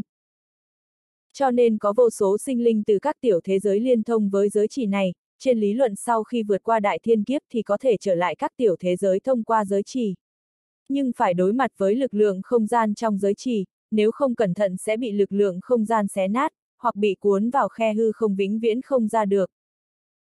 Cho nên gần như không ai dám đi thẳng qua giới chỉ để trở lại tiểu thế giới, sao người có thể xác định đi qua giới chỉ có thể an toàn trở lại sơn hải giới chứ? Muốn trở lại cần phải có tọa độ chính xác của tiểu thế giới đó, nếu không sẽ không thành công.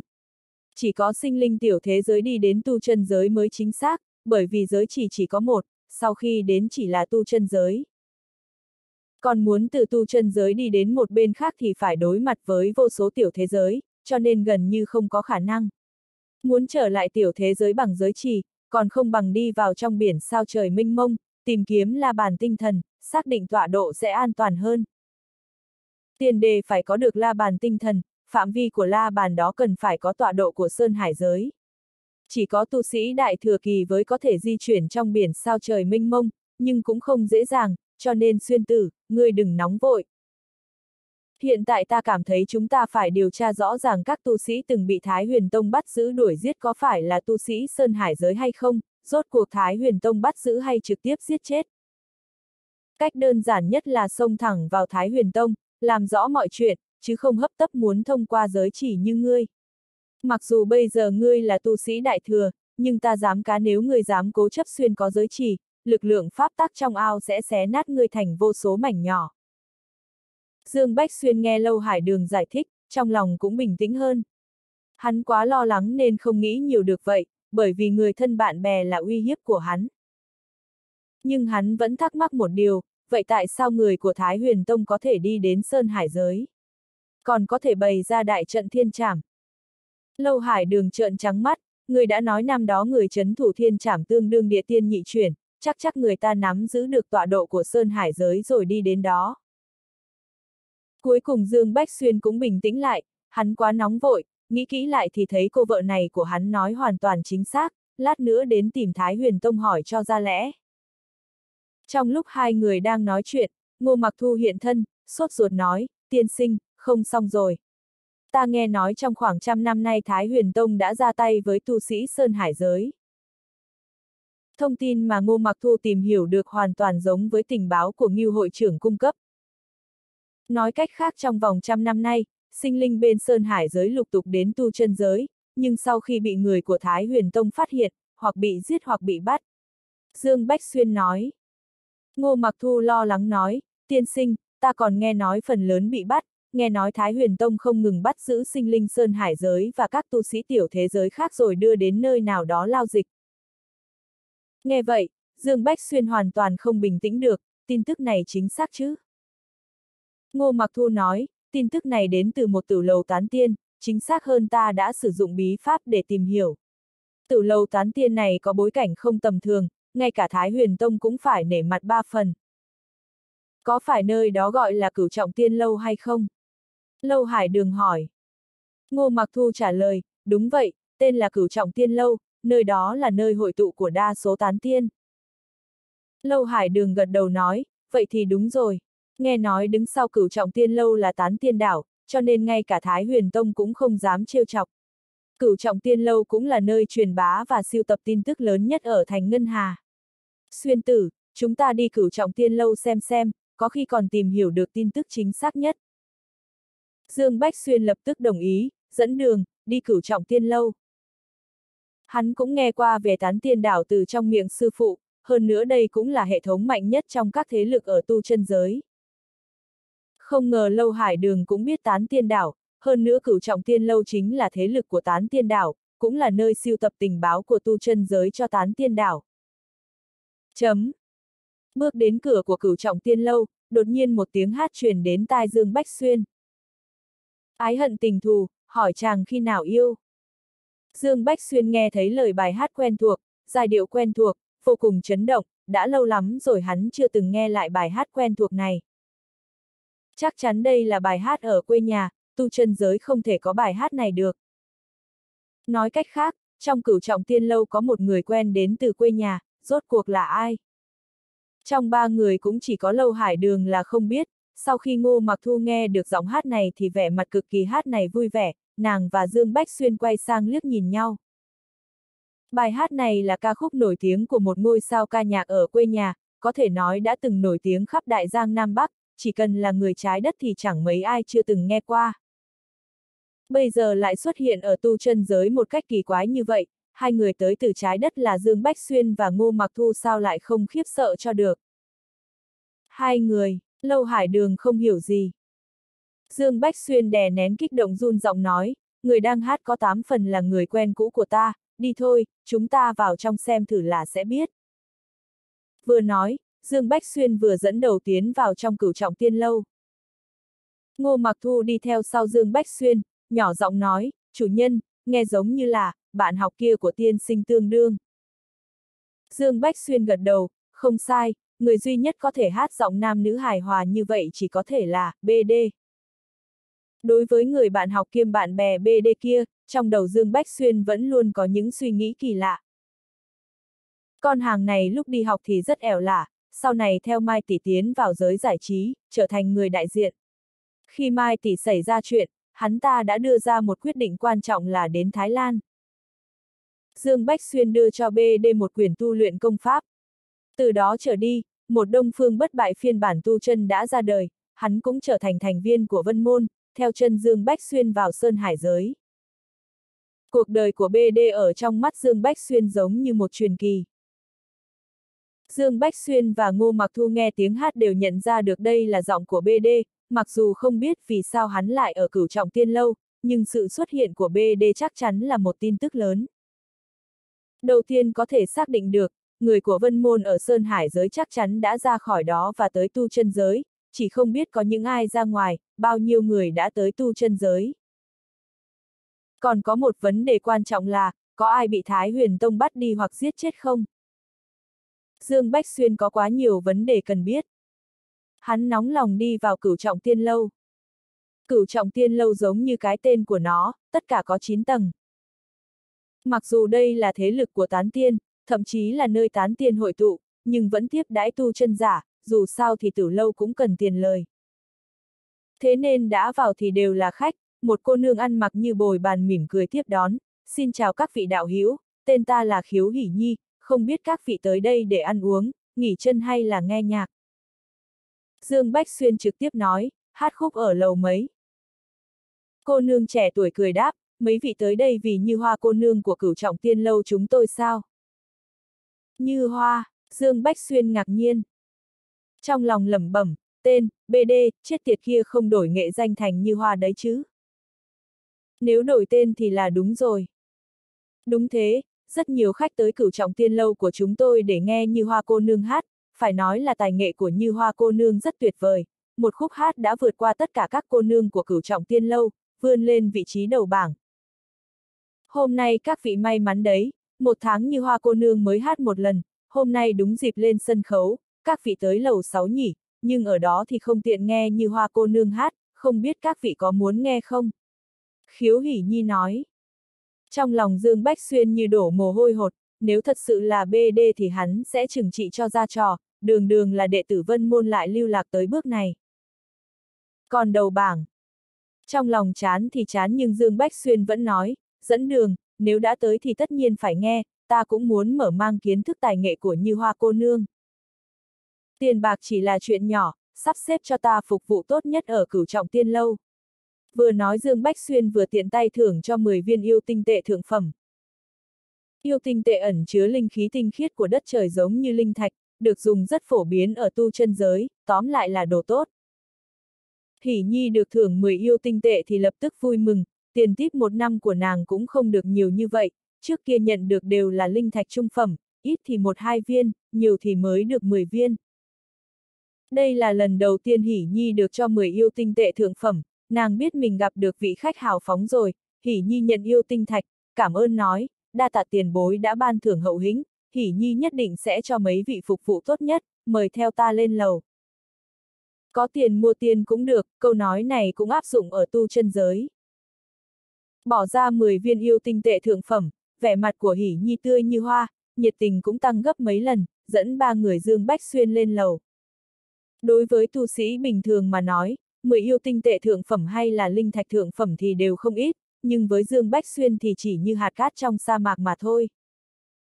Lần trước khi độ đại thiên kiếp, sau khi dùng hết yêu tinh tệ ở trên người, hắn đã lấy 10 vạn yêu tinh tệ thượng phẩm từ trong miệng của trồn nhi, đây mới chỉ là yêu tinh tệ, chưa tính tới những thiên tài địa bảo khác trên người hắn, chỉ riêng thứ hắn lấy được từ bảo khố thanh nghiêu, tùy tiện lấy ra một món thì đều là thứ mà tu chân giới muốn cướp đoạt. Cho nên nói hiện tại Dương Bách Xuyên có thể xứng với câu dầu nứt đố đổ vách. Chưa bao giờ nghĩ tới vấn đề tốn bao nhiêu tiền.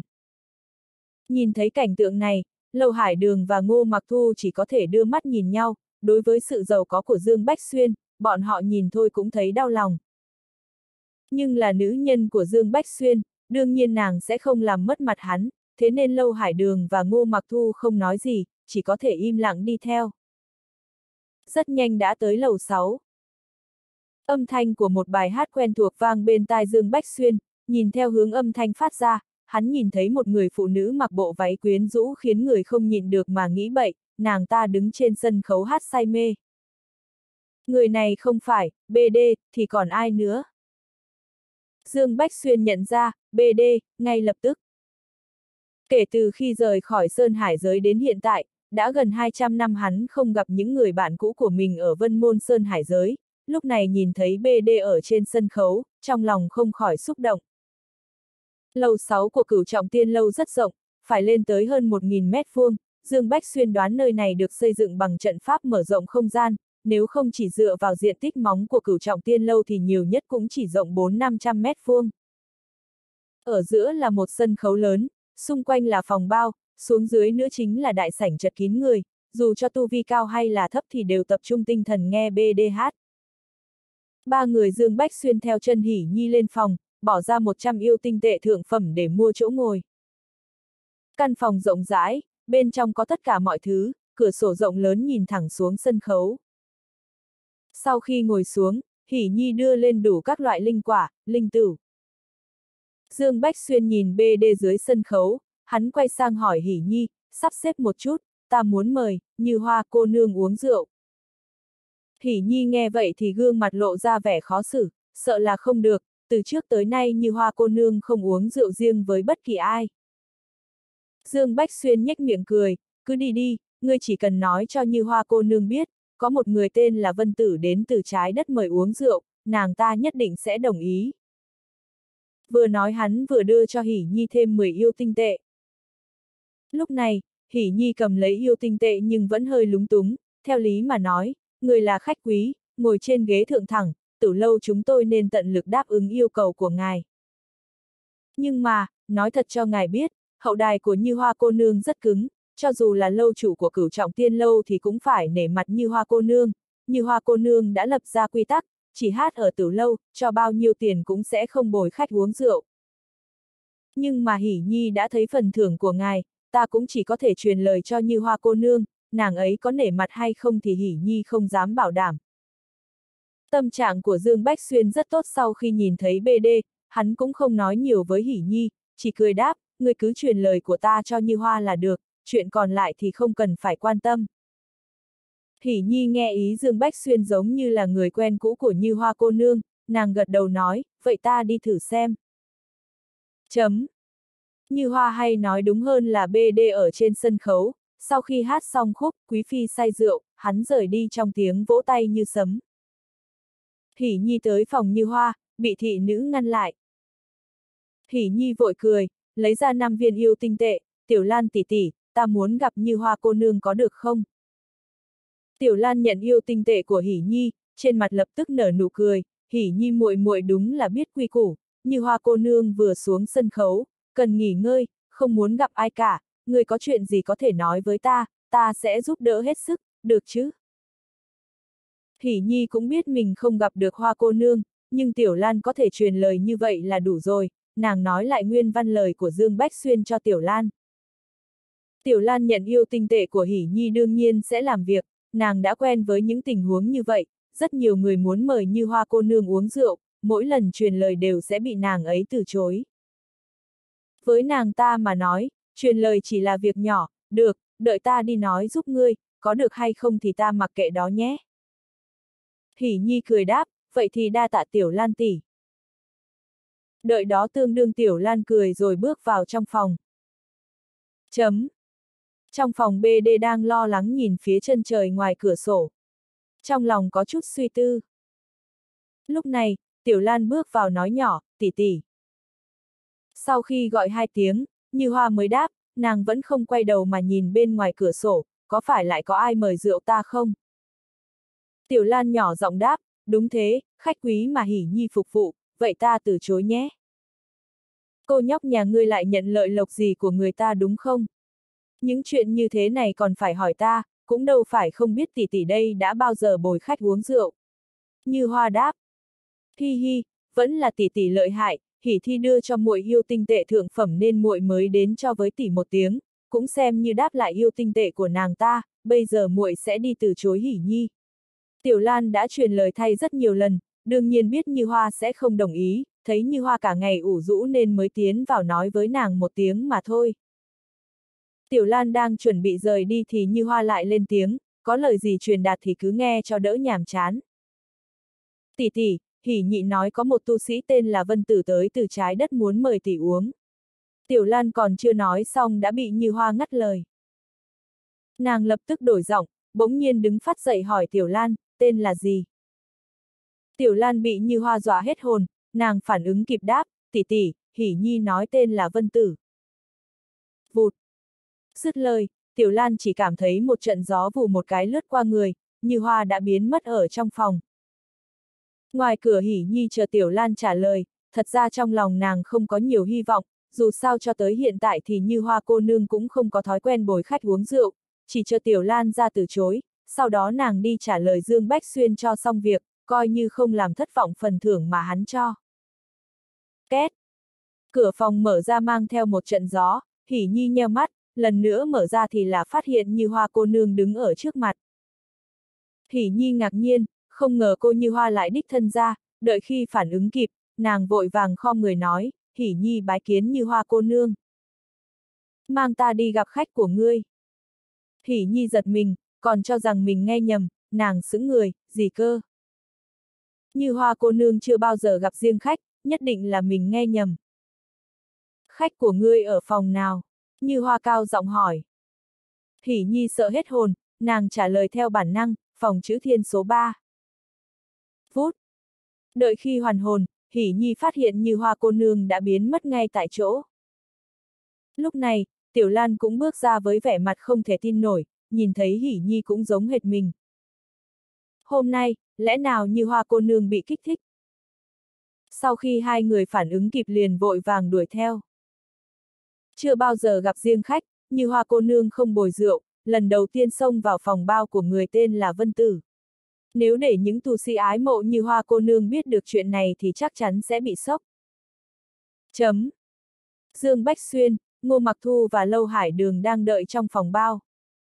Lâu Hải Đường không biết BD nhưng qua lời của Hỷ Nhi thì nàng có thể biết được, nữ tử kia có địa vị không bình thường ở cửu trọng tiên lâu, Dương Bách Xuyên nói một câu là có thể mời tới, nhưng Lâu Hải Đường lại mang thái độ nghi ngờ. Đang định hỏi có phải Dương Bách Xuyên quen biết với Như Hoa hay không thì cửa phòng đột nhiên ầm một cái, bị một sức mạnh lớn từ bên ngoài đẩy vào. Ngay sau đó, quả nhiên Như Hoa cô nương vừa hát trên sân khấu đang xuất hiện trước cửa. Trong mắt lâu hải đường, cảm giác mà nữ tử này mang lại cho nàng chính là, vô cùng xinh đẹp, vẻ bề ngoài không hề thua kém nàng và ngô mặc thu.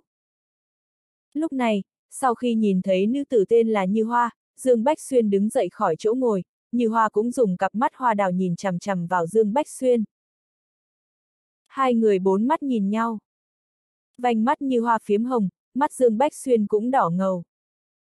Cảnh tượng này khiến Lâu Hải Đường cảm thấy như đang đưa tình. Lâu Hải Đường đã có thể nhìn ra, nữ tử tên như hoa này nhất định là người quen cũ của Dương Bách Xuyên. Trong lòng Lâu Hải Đường có chút tức giận, nàng ghen rồi. Nàng thầm mắng chửi, rốt cuộc tên oan gia này có bao nhiêu phụ nữ vậy? Lúc này, như hoa cô nương run giọng nói, Vân Tử. Dương Bách Xuyên cũng xúc động, BD. Vân Tử, cuối cùng ta cũng gặp được ngươi rồi, hu hu hu. Như hoa chính là BD, BD là như hoa, hắn như một cơn gió bay vào lòng Dương Bách Xuyên. BD ôm chặt Dương Bách Xuyên, khóc giống lên. Nhưng Lâu Hải Đường đứng ở một bên lại cảm thấy vô cùng chán hận không thể lên đạp cho Dương Bách Xuyên một phát.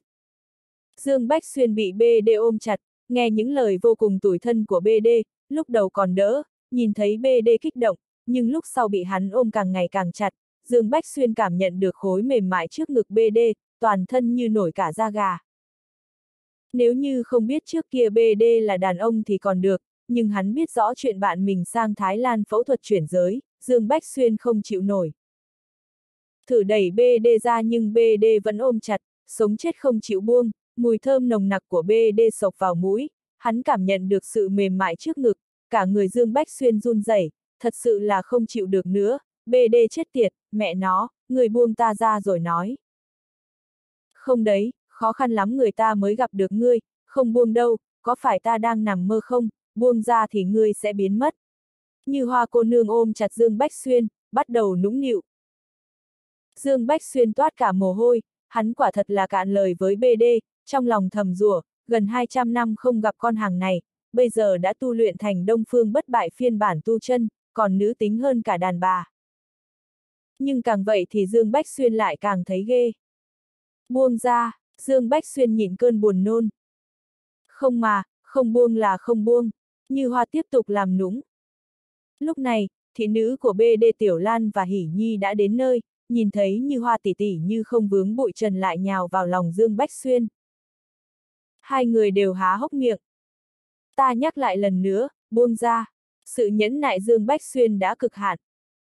BD ôm chặt Dương Bách Xuyên nói, không buông là không buông, lúc đi học người ta đã thích ngươi, hiện tại người ta là nữ nhân rồi, ngươi nên tiếp nhận ta đi chứ, người ta bây giờ muốn ngực có ngực, muốn mông có mông, không chiếm được tim của ngươi, thì phải có được thân thể ngươi, vân tử hôn ta một cái sẽ buông ngươi ra. Không nói ra những lời này còn đỡ, nói ra rồi, Dương Bách Xuyên hoàn toàn phát điên.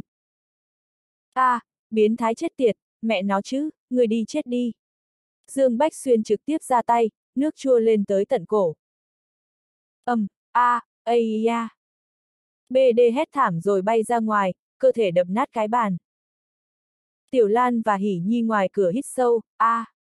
Bọn họ chưa bao giờ nghĩ tới, như hoa tỷ tỷ như tiên nhân lại dán lên một người đàn ông, còn bị đối phương ghét bỏ, đánh bay ra ngoài. Thế giới này quá điên cuồng. Sau khi Tiểu Lan hoàn hồn lại, nàng vội vàng chạy tới đỡ BD. Hỷ Nhi cũng vội vã đóng cửa phòng lại, nếu bị những khách nhân theo đuổi như hoa cô nương nhìn thấy cảnh tượng này, hôm nay chắc chắn sẽ đánh nhau, nói không chừng Dương Bách Xuyên còn bị tấn công tập thể, Hỷ Nhi được lợi từ Dương Bách, ấn tượng đối với với hắn cũng không tệ, nàng không hy vọng cảnh tượng này này bị người nhìn thấy, Hỷ Nhi vội vàng đóng cửa phòng rồi canh giữ ở bên ngoài. Lâu Hải Đường không thể hiểu nổi, theo lý thì như hoa hay là cái tên BD mà Dương Bách Xuyên gọi có vẻ ngoài đẹp như tiên, còn ôm lấy tiểu oan ra này, hắn nên thích mới phải. Nhưng không ngờ Dương Bách Xuyên lại có dáng vẻ ghét bỏ, trực tiếp đánh bay như hoa ra ngoài. Lâu Hải Đường thật sự không thể hiểu nổi Dương Bách Xuyên, vẻ mặt nàng vô cùng kinh ngạc. Trước đó thì nàng cảm thấy ghen, nhưng hiện tại, Lâu Hải Đường rất mông lung.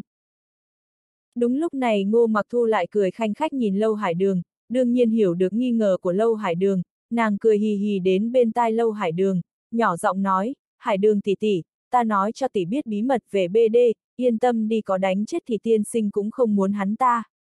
Thật ra trước kia BD là một nam nhân. Ngô Mặc Thu rất bát quái, kể chuyện cũ của BD cho Lâu Hải Đường nghe.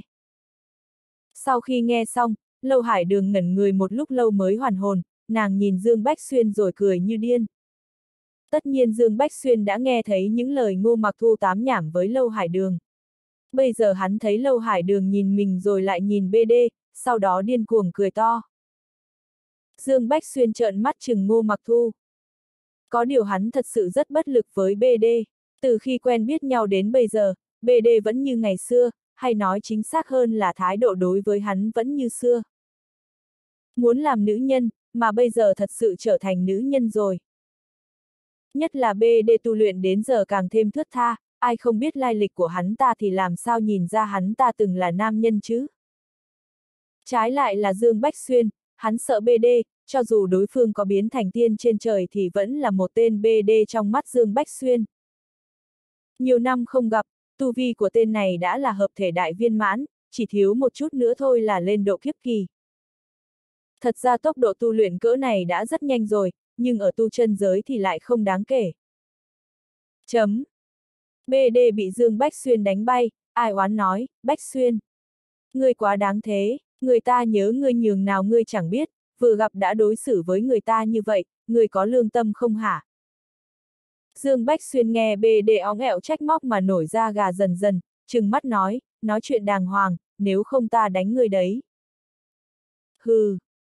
BD miễn cưỡng hừ lạnh một tiếng, nhưng cũng biết tính Dương Bách Xuyên. Hắn ta vẫy tay ra hiệu cho Tiểu Lan đi ra ngoài. Như hoa tỷ, Tiểu Lan hơi do dự. Nàng ta nhìn ra nam nhân tên Dương Bách Xuyên không có tình ý với Như Hoa tỷ tỷ, nhưng Như Hoa tỷ tỷ lại thích người này. Lúc này Như Hoa tỷ lại bảo nàng ta ra ngoài, Tiểu Lan sợ tên Bách Xuyên này lại đánh Như Hoa tỷ tỷ, vì vậy nàng ta không vui. Ra ngoài đi, giọng BD trầm hơn vài phần.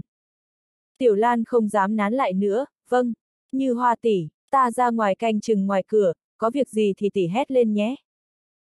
Ôi con nhóc này lề mề thế, yên tâm đi, nam nhân tốt nhất trên đời này chính là Dương Bách Xuyên, hắn đánh ta, ta còn vui nữa kìa. BD cong ngón tay vuốt lọn tóc dài. Tiểu Lan toát mồ hôi, như hoa tỷ tỷ hết thuốc chữa rồi. Chấm. Sau khi Tiểu Lan ra ngoài, BD lại sắp tới. Dương Bách Xuyên né tránh, nói, ngồi xuống bàn chuyện nghiêm chỉnh đi. BD không cam lòng ngồi xuống. Cuối cùng Dương Bách Xuyên cũng thở phào nhẹ nhõm, ngồi đối diện với BD. Hắn thật sự sợ tên này. BD quậy một hồi như thế, bầu không khí không còn nặng nề như trước. Lúc này Dương Bách Xuyên mới hỏi, sao ngươi lại đến tu chân giới? Những người khác đâu, có tới không? Ta nghe nói Thái Huyền Tông đã đuổi giết rất nhiều tu sĩ đến từ Sơn Hải giới, rốt cuộc đã xảy ra chuyện gì? Đám triệu nam sao rồi? Mau nói cho ta đi. Dương Bách Xuyên vừa mở miệng đã hỏi rất nhiều vấn đề. Thật sự là hắn quá muốn biết tình hình của mọi người trong vân môn, cũng có thể nói là lo lắng. BD nghe thấy câu hỏi của Dương Bách Xuyên, sắc mặt trở nên tái nhợt, trong đôi mắt hoa đào tuôn trào nước mắt, nhỏ giọng run rẩy. Dương Bách Xuyên thấy vậy, tâm trạng trùng xuống, nói đi, đã xảy ra chuyện gì? Hu hu, Bách Xuyên ơi, chúng ta thảm lắm. Hu hu. BD lại khóc, không nói vào điểm chính. Dương Bách Xuyên nôn nóng, tức giận quát, người con mẹ nó nói đi chứ. Rốt cuộc đã xảy ra chuyện gì? Tiếng quát của Dương Bách Xuyên làm BD giật mình, bấy giờ hắn ta mới vội vàng nói, Bách Xuyên đừng lo lắng, có lẽ chắc là các tẩu tử không sao đâu. Cái gì mà có lẽ chắc là chứ? Nói điểm chính đi, Dương Bách Xuyên quát. Người đừng quát người ta, người không biết người ta đã chịu biết bao nhiêu khổ sở đâu, người còn hung hăng với người ta. Dù sao người cũng phải cho người ta nói từ từ chứ. Hu hu, bê đê cong ngón tay, che mặt khóc. Dương Bách Xuyên thật sự bó tay với tên này, hận không thể đánh đối phương một trận tơi bời. Lúc này, Lâu Hải Đường lên tiếng, Bách Xuyên à, người đừng nổi nóng, dù sao cũng đã chờ đợi một thời gian dài, không vội một chốc một lát, để cho BD huynh đệ từ từ nói đi. Dương Bách Xuyên thở dài, hắn biết mình quá nóng nảy, không nên quát BD, bèn gật đầu nói, được rồi, người cứ từ từ nói cho ta nghe. Lúc này BD mới thôi run rẩy, nói, vị này hẳn là một vị tẩu tử nhỉ. Chào tẩu tử, vẫn là tẩu tử tốt, nhưng mà tẩu tử này, ta không phải huynh đệ, tẩu phải gọi ta là muội muội. Huynh đệ, là chuyện rất lâu về trước rồi, bây giờ người ta là cô nương, còn là một cô nương trẻ. Phì. Ngô Mặc Thu ở bên cạnh nghe BD nói vậy, không nhịn được bật cười. Lâu Hải Đường cũng cố nhịn cười, cắn răng không để mình bật cười. Nàng vừa mới biết lai lịch của BD từ Ngô Mặc Thu. Trước kia tên này là nam nhân, về sau mới tự biến mình thành nữ nhân, cho nên nàng ta mới gọi BD là huynh đệ, không ngờ đối phương lại hùng hồn sửa lại. Thật sự khiến Lâu Hải Đường cạn lời, mà cũng chính vì biết lai lịch của BD nên nàng ta mới không ghen. Còn Dương Bách Xuyên thì sắc mặt tối sầm, cổ họng bắt đầu trào axit. Hích, được thôi, BD, muội muội, mong muội thứ lỗi, ta là Lâu Hải Đường. Lâu Hải Đường đè nén cảm giác dần dợn, mỉm cười giới thiệu bản thân, cũng đổi cách gọi BD là muội muội. Lúc này BD mới tươi cười hớn hở, ồ, thì ra là Hải Đường tẩu, ta thất lễ rồi. Chấm. Trải qua quá trình giảm sóc, tâm trạng kích động đã hồi phục, BD bắt đầu kể, khoảng 30 năm sau khi ngươi đi, tu sĩ Sơn Hải giới phát hiện ra kết giới thiên trảm đã sụp đổ, bấy giờ mọi người đều biết có thể tới tu chân giới. Cả Sơn Hải giới gieo hò, các môn phái bắt đầu cử người tới tu chân giới. Tất nhiên vân môn Sơn Hải chúng ta cũng không tụt hậu, chọn ra nhóm đệ tử đầu tiên tiến vào Sơn Hải giới. Ta là nhóm đầu tiên báo danh, cùng với đồ đệ của ngươi cô hối, Phương Tông Nhân, Võ Kiếm, còn có ông ngoại đoan Mộc Hành Thiên và 100 đệ tử vân môn đến tu chân giới. Mấy tàu tử và những người khác đã quyết định cứ cách 30 năm sẽ cho nhóm môn nhân đệ tử tiếp theo tiến vào tu chân giới. Lần đó, chúng ta và người của các thế lực khác ở Sơn Hải giới có gần nghìn người tiến vào tu chân giới. Chúng ta đã thỏa thuận là sau khi đến tu chân giới sẽ đi tìm ngươi, tìm được ngươi thì sẽ có nơi dừng chân, như vậy thì về sau nhóm thứ hai đến chúng ta có thể chăm sóc lẫn nhau. Sau khi chúng ta đến tu chân giới, ban đầu mọi người vô cùng tò mò tình hình tu chân giới ra sao. Sau khi vào thành Ngân Hà, chúng ta dự định đi loanh quanh quan sát để tìm hiểu về tu chân giới, đồng thời hỏi thăm tung tích của ngươi. Vì vậy, khoảng 100 người chúng ta dẫn theo các đệ tử vân môn tách nhau ra hành động. Nào ngờ có một ngày, đột nhiên có vô số cường giả tự xưng là người của Thái Huyền Tông, bọn họ nghe nói chúng ta đến từ Sơn Hải giới liền bắt người. Có người phản kháng, nhưng bị giết tại chỗ. Chúng ta ấy à, ở Sơn Hải giới được gọi là cao thủ, nhưng dù sao cũng chỉ là cảnh giới xuất khiếu, cao nhất là cảnh giới phân thần. Sau khi tới tu chân giới, chúng ta mới phát hiện cao thủ ở Sơn Hải giới chỉ là dơm dạ, tu chân giới là một thế giới cao thủ đi đầy đường. Chúng ta đối đầu với người của Thái Huyền Tông hoàn toàn không có sức đánh trả, nhưng chúng ta không muốn bị bắt, tất nhiên sẽ chống cự. Kết quả là rất nhiều người mất mạng. Lúc đó ta đã sử dụng bí pháp nên thoát nạn, còn các đệ tử đi cùng thì người chết kẻ trốn, còn mất liên lạc với đám độc cô hối. BD nói đến đây, gương mặt vẫn tràn đầy buồn bã, dường như hắn ta đang nhớ lại chuyện năm xưa, im lặng không nói gì. Còn Dương Bách Xuyên thì lửa giận bùng lên trong lòng, hai tay siết chặt thành nắm đấm. Hắn cũng vô cùng lo lắng, nhưng hắn biết BD vẫn chưa nói xong. Hắn không lên tiếng mà chờ đối phương nói tiếp. Mãi lâu sau BD mới hít sâu một hơi, tiếp tục kể, con mẹ nó tu chân giới quá rộng lớn. Sau khi thoát khỏi sự truy sát của con chuột, ta trốn trong thành ngân hà hệt như một con chuột trong bóng tối. Sau ba tháng trốn chui trốn lủi, cuối cùng sóng gió cũng ngừng, nhưng ta đã mất liên lạc với tất cả mọi người, không biết họ đã chết hay bị Thái Huyền Tông bắt. Ta lưu lạc trong thành ngân hà gần nửa năm, trên người không có linh thạch. Ta cũng biết là mình trốn mãi cũng không được, phải nghĩ cách ra khỏi thành hoặc là nghĩ cách hỏi thăm tung tích của những người khác. Ban đầu ta biểu diễn trên đường, thế rồi có một hôm ta gặp một tán tiên, nàng thích nghe ta hát, bèn đưa ta tới cửu trọng tiên lâu, từ đó ta cũng ổn định. Kể từ ngày hôm đó, ta bắt đầu ca hát kiếm sống trong cửu trọng tiên lâu. Nhờ có các ca khúc nổi tiếng ở quê hương chúng ta, lại thêm thân phận của vị tiền bối tán tiên kia chống lưng, ta nhanh chóng đứng vững ở cửu trọng tiên lâu. Nhưng ta cũng sợ bị Thái Huyền Tông hãm hại nên không dám bước ra khỏi cửu trọng tiên lâu. Dù vậy ta vẫn không từ bỏ việc tìm kiếm những người khác. Dựa vào thế lực của cửu trọng tiên lâu, cuối cùng ta cũng tìm ra một vài manh mối. Trong số hơn 1.000 tu sĩ Sơn Hải giới đến tu chân giới năm ấy và đệ tử vân môn chúng ta, có rất nhiều người bị Thái Huyền Tông bắt đi, cũng có rất nhiều người bị giết thẳng tay. Không biết hiện giờ ông ngoại ngươi và ba đồ đệ có phải đã bị bắt rồi không, hay là trốn ra khỏi thành ngân hà. Ta chỉ điều tra được chừng ấy thông tin thôi, nhiều hơn thì không tra được. Dù sao vị tán tiên cưu mang ta hồi đó đã rời khỏi cửu trọng tiên lâu. Không có vị tiền bối ấy, ta không làm được gì cả, chỉ có thể nhìn ngắm phong cảnh.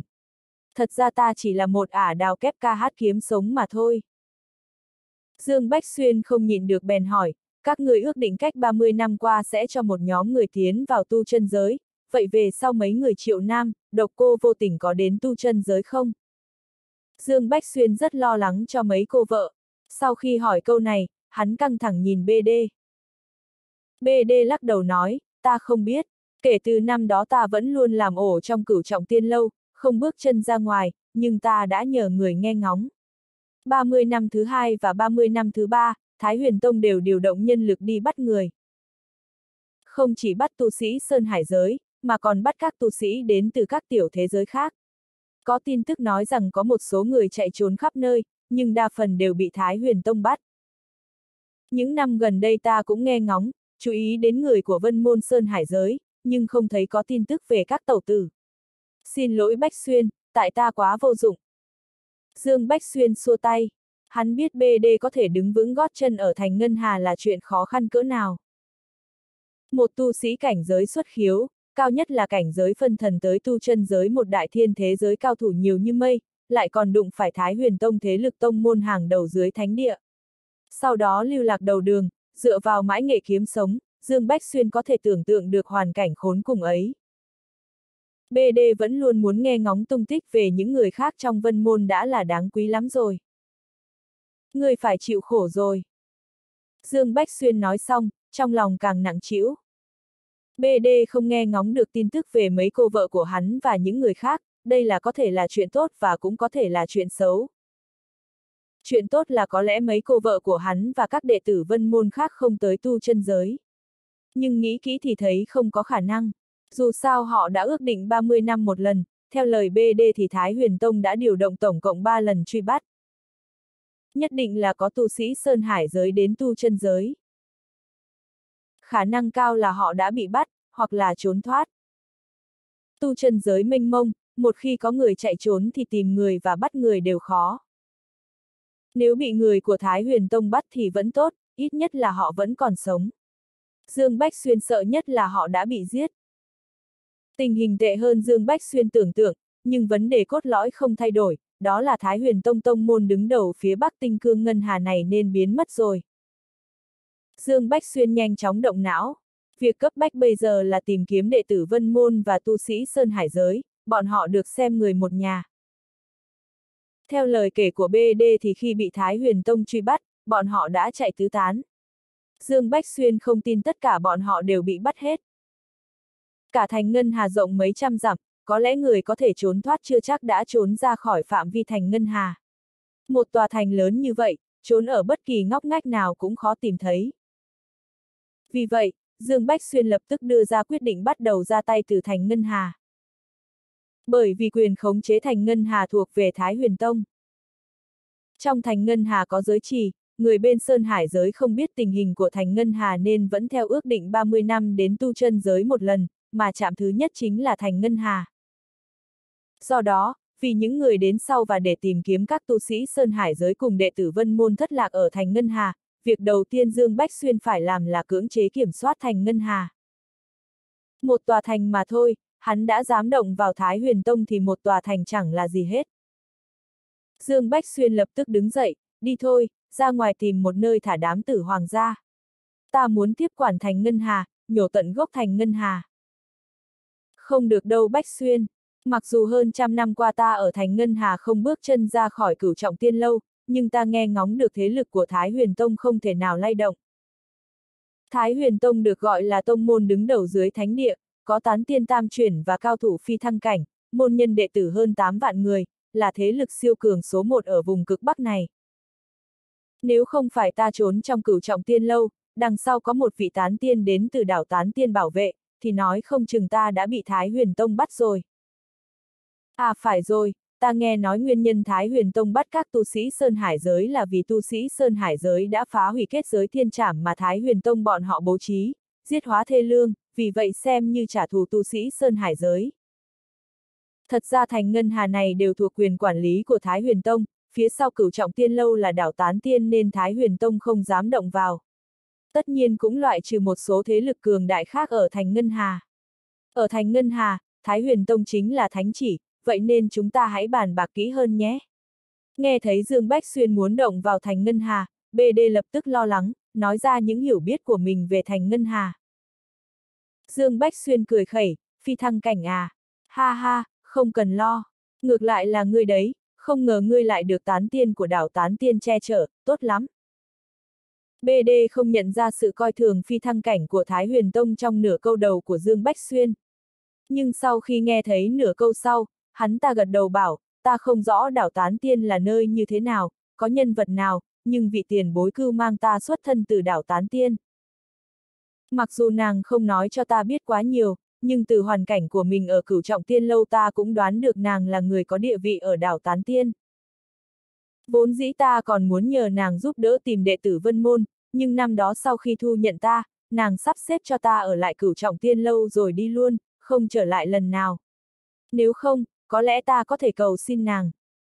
Nói thật là ta rất cảm kích nàng, tiếc là chúng ta cũng chỉ quen biết vài ngày. Nàng rời đi là để đến đảo Tán Tiên, sau này gặp lại nàng, ta nhất định phải báo đáp ân huệ của nàng. Cũng nhờ có nàng nên ở cửu trọng tiên lâu, ngay cả lâu chủ địa tiên nhị chuyển cũng khách khí với ta, còn giúp ta cản mấy tên nam nhân thúi quấy rối. Dương Bách Xuyên biết đây là cơ duyên của BD, tỏ ý thấu hiểu, và cũng ghi nhớ chuyện này trong lòng sau này nếu đi đảo tán tiên, hắn sẽ giúp BD trả ơn. Tuy nhiên, hắn cũng nói với BD, đi theo ta, ta cho ngươi xem thế lực của vân môn chúng ta ở tu chân giới.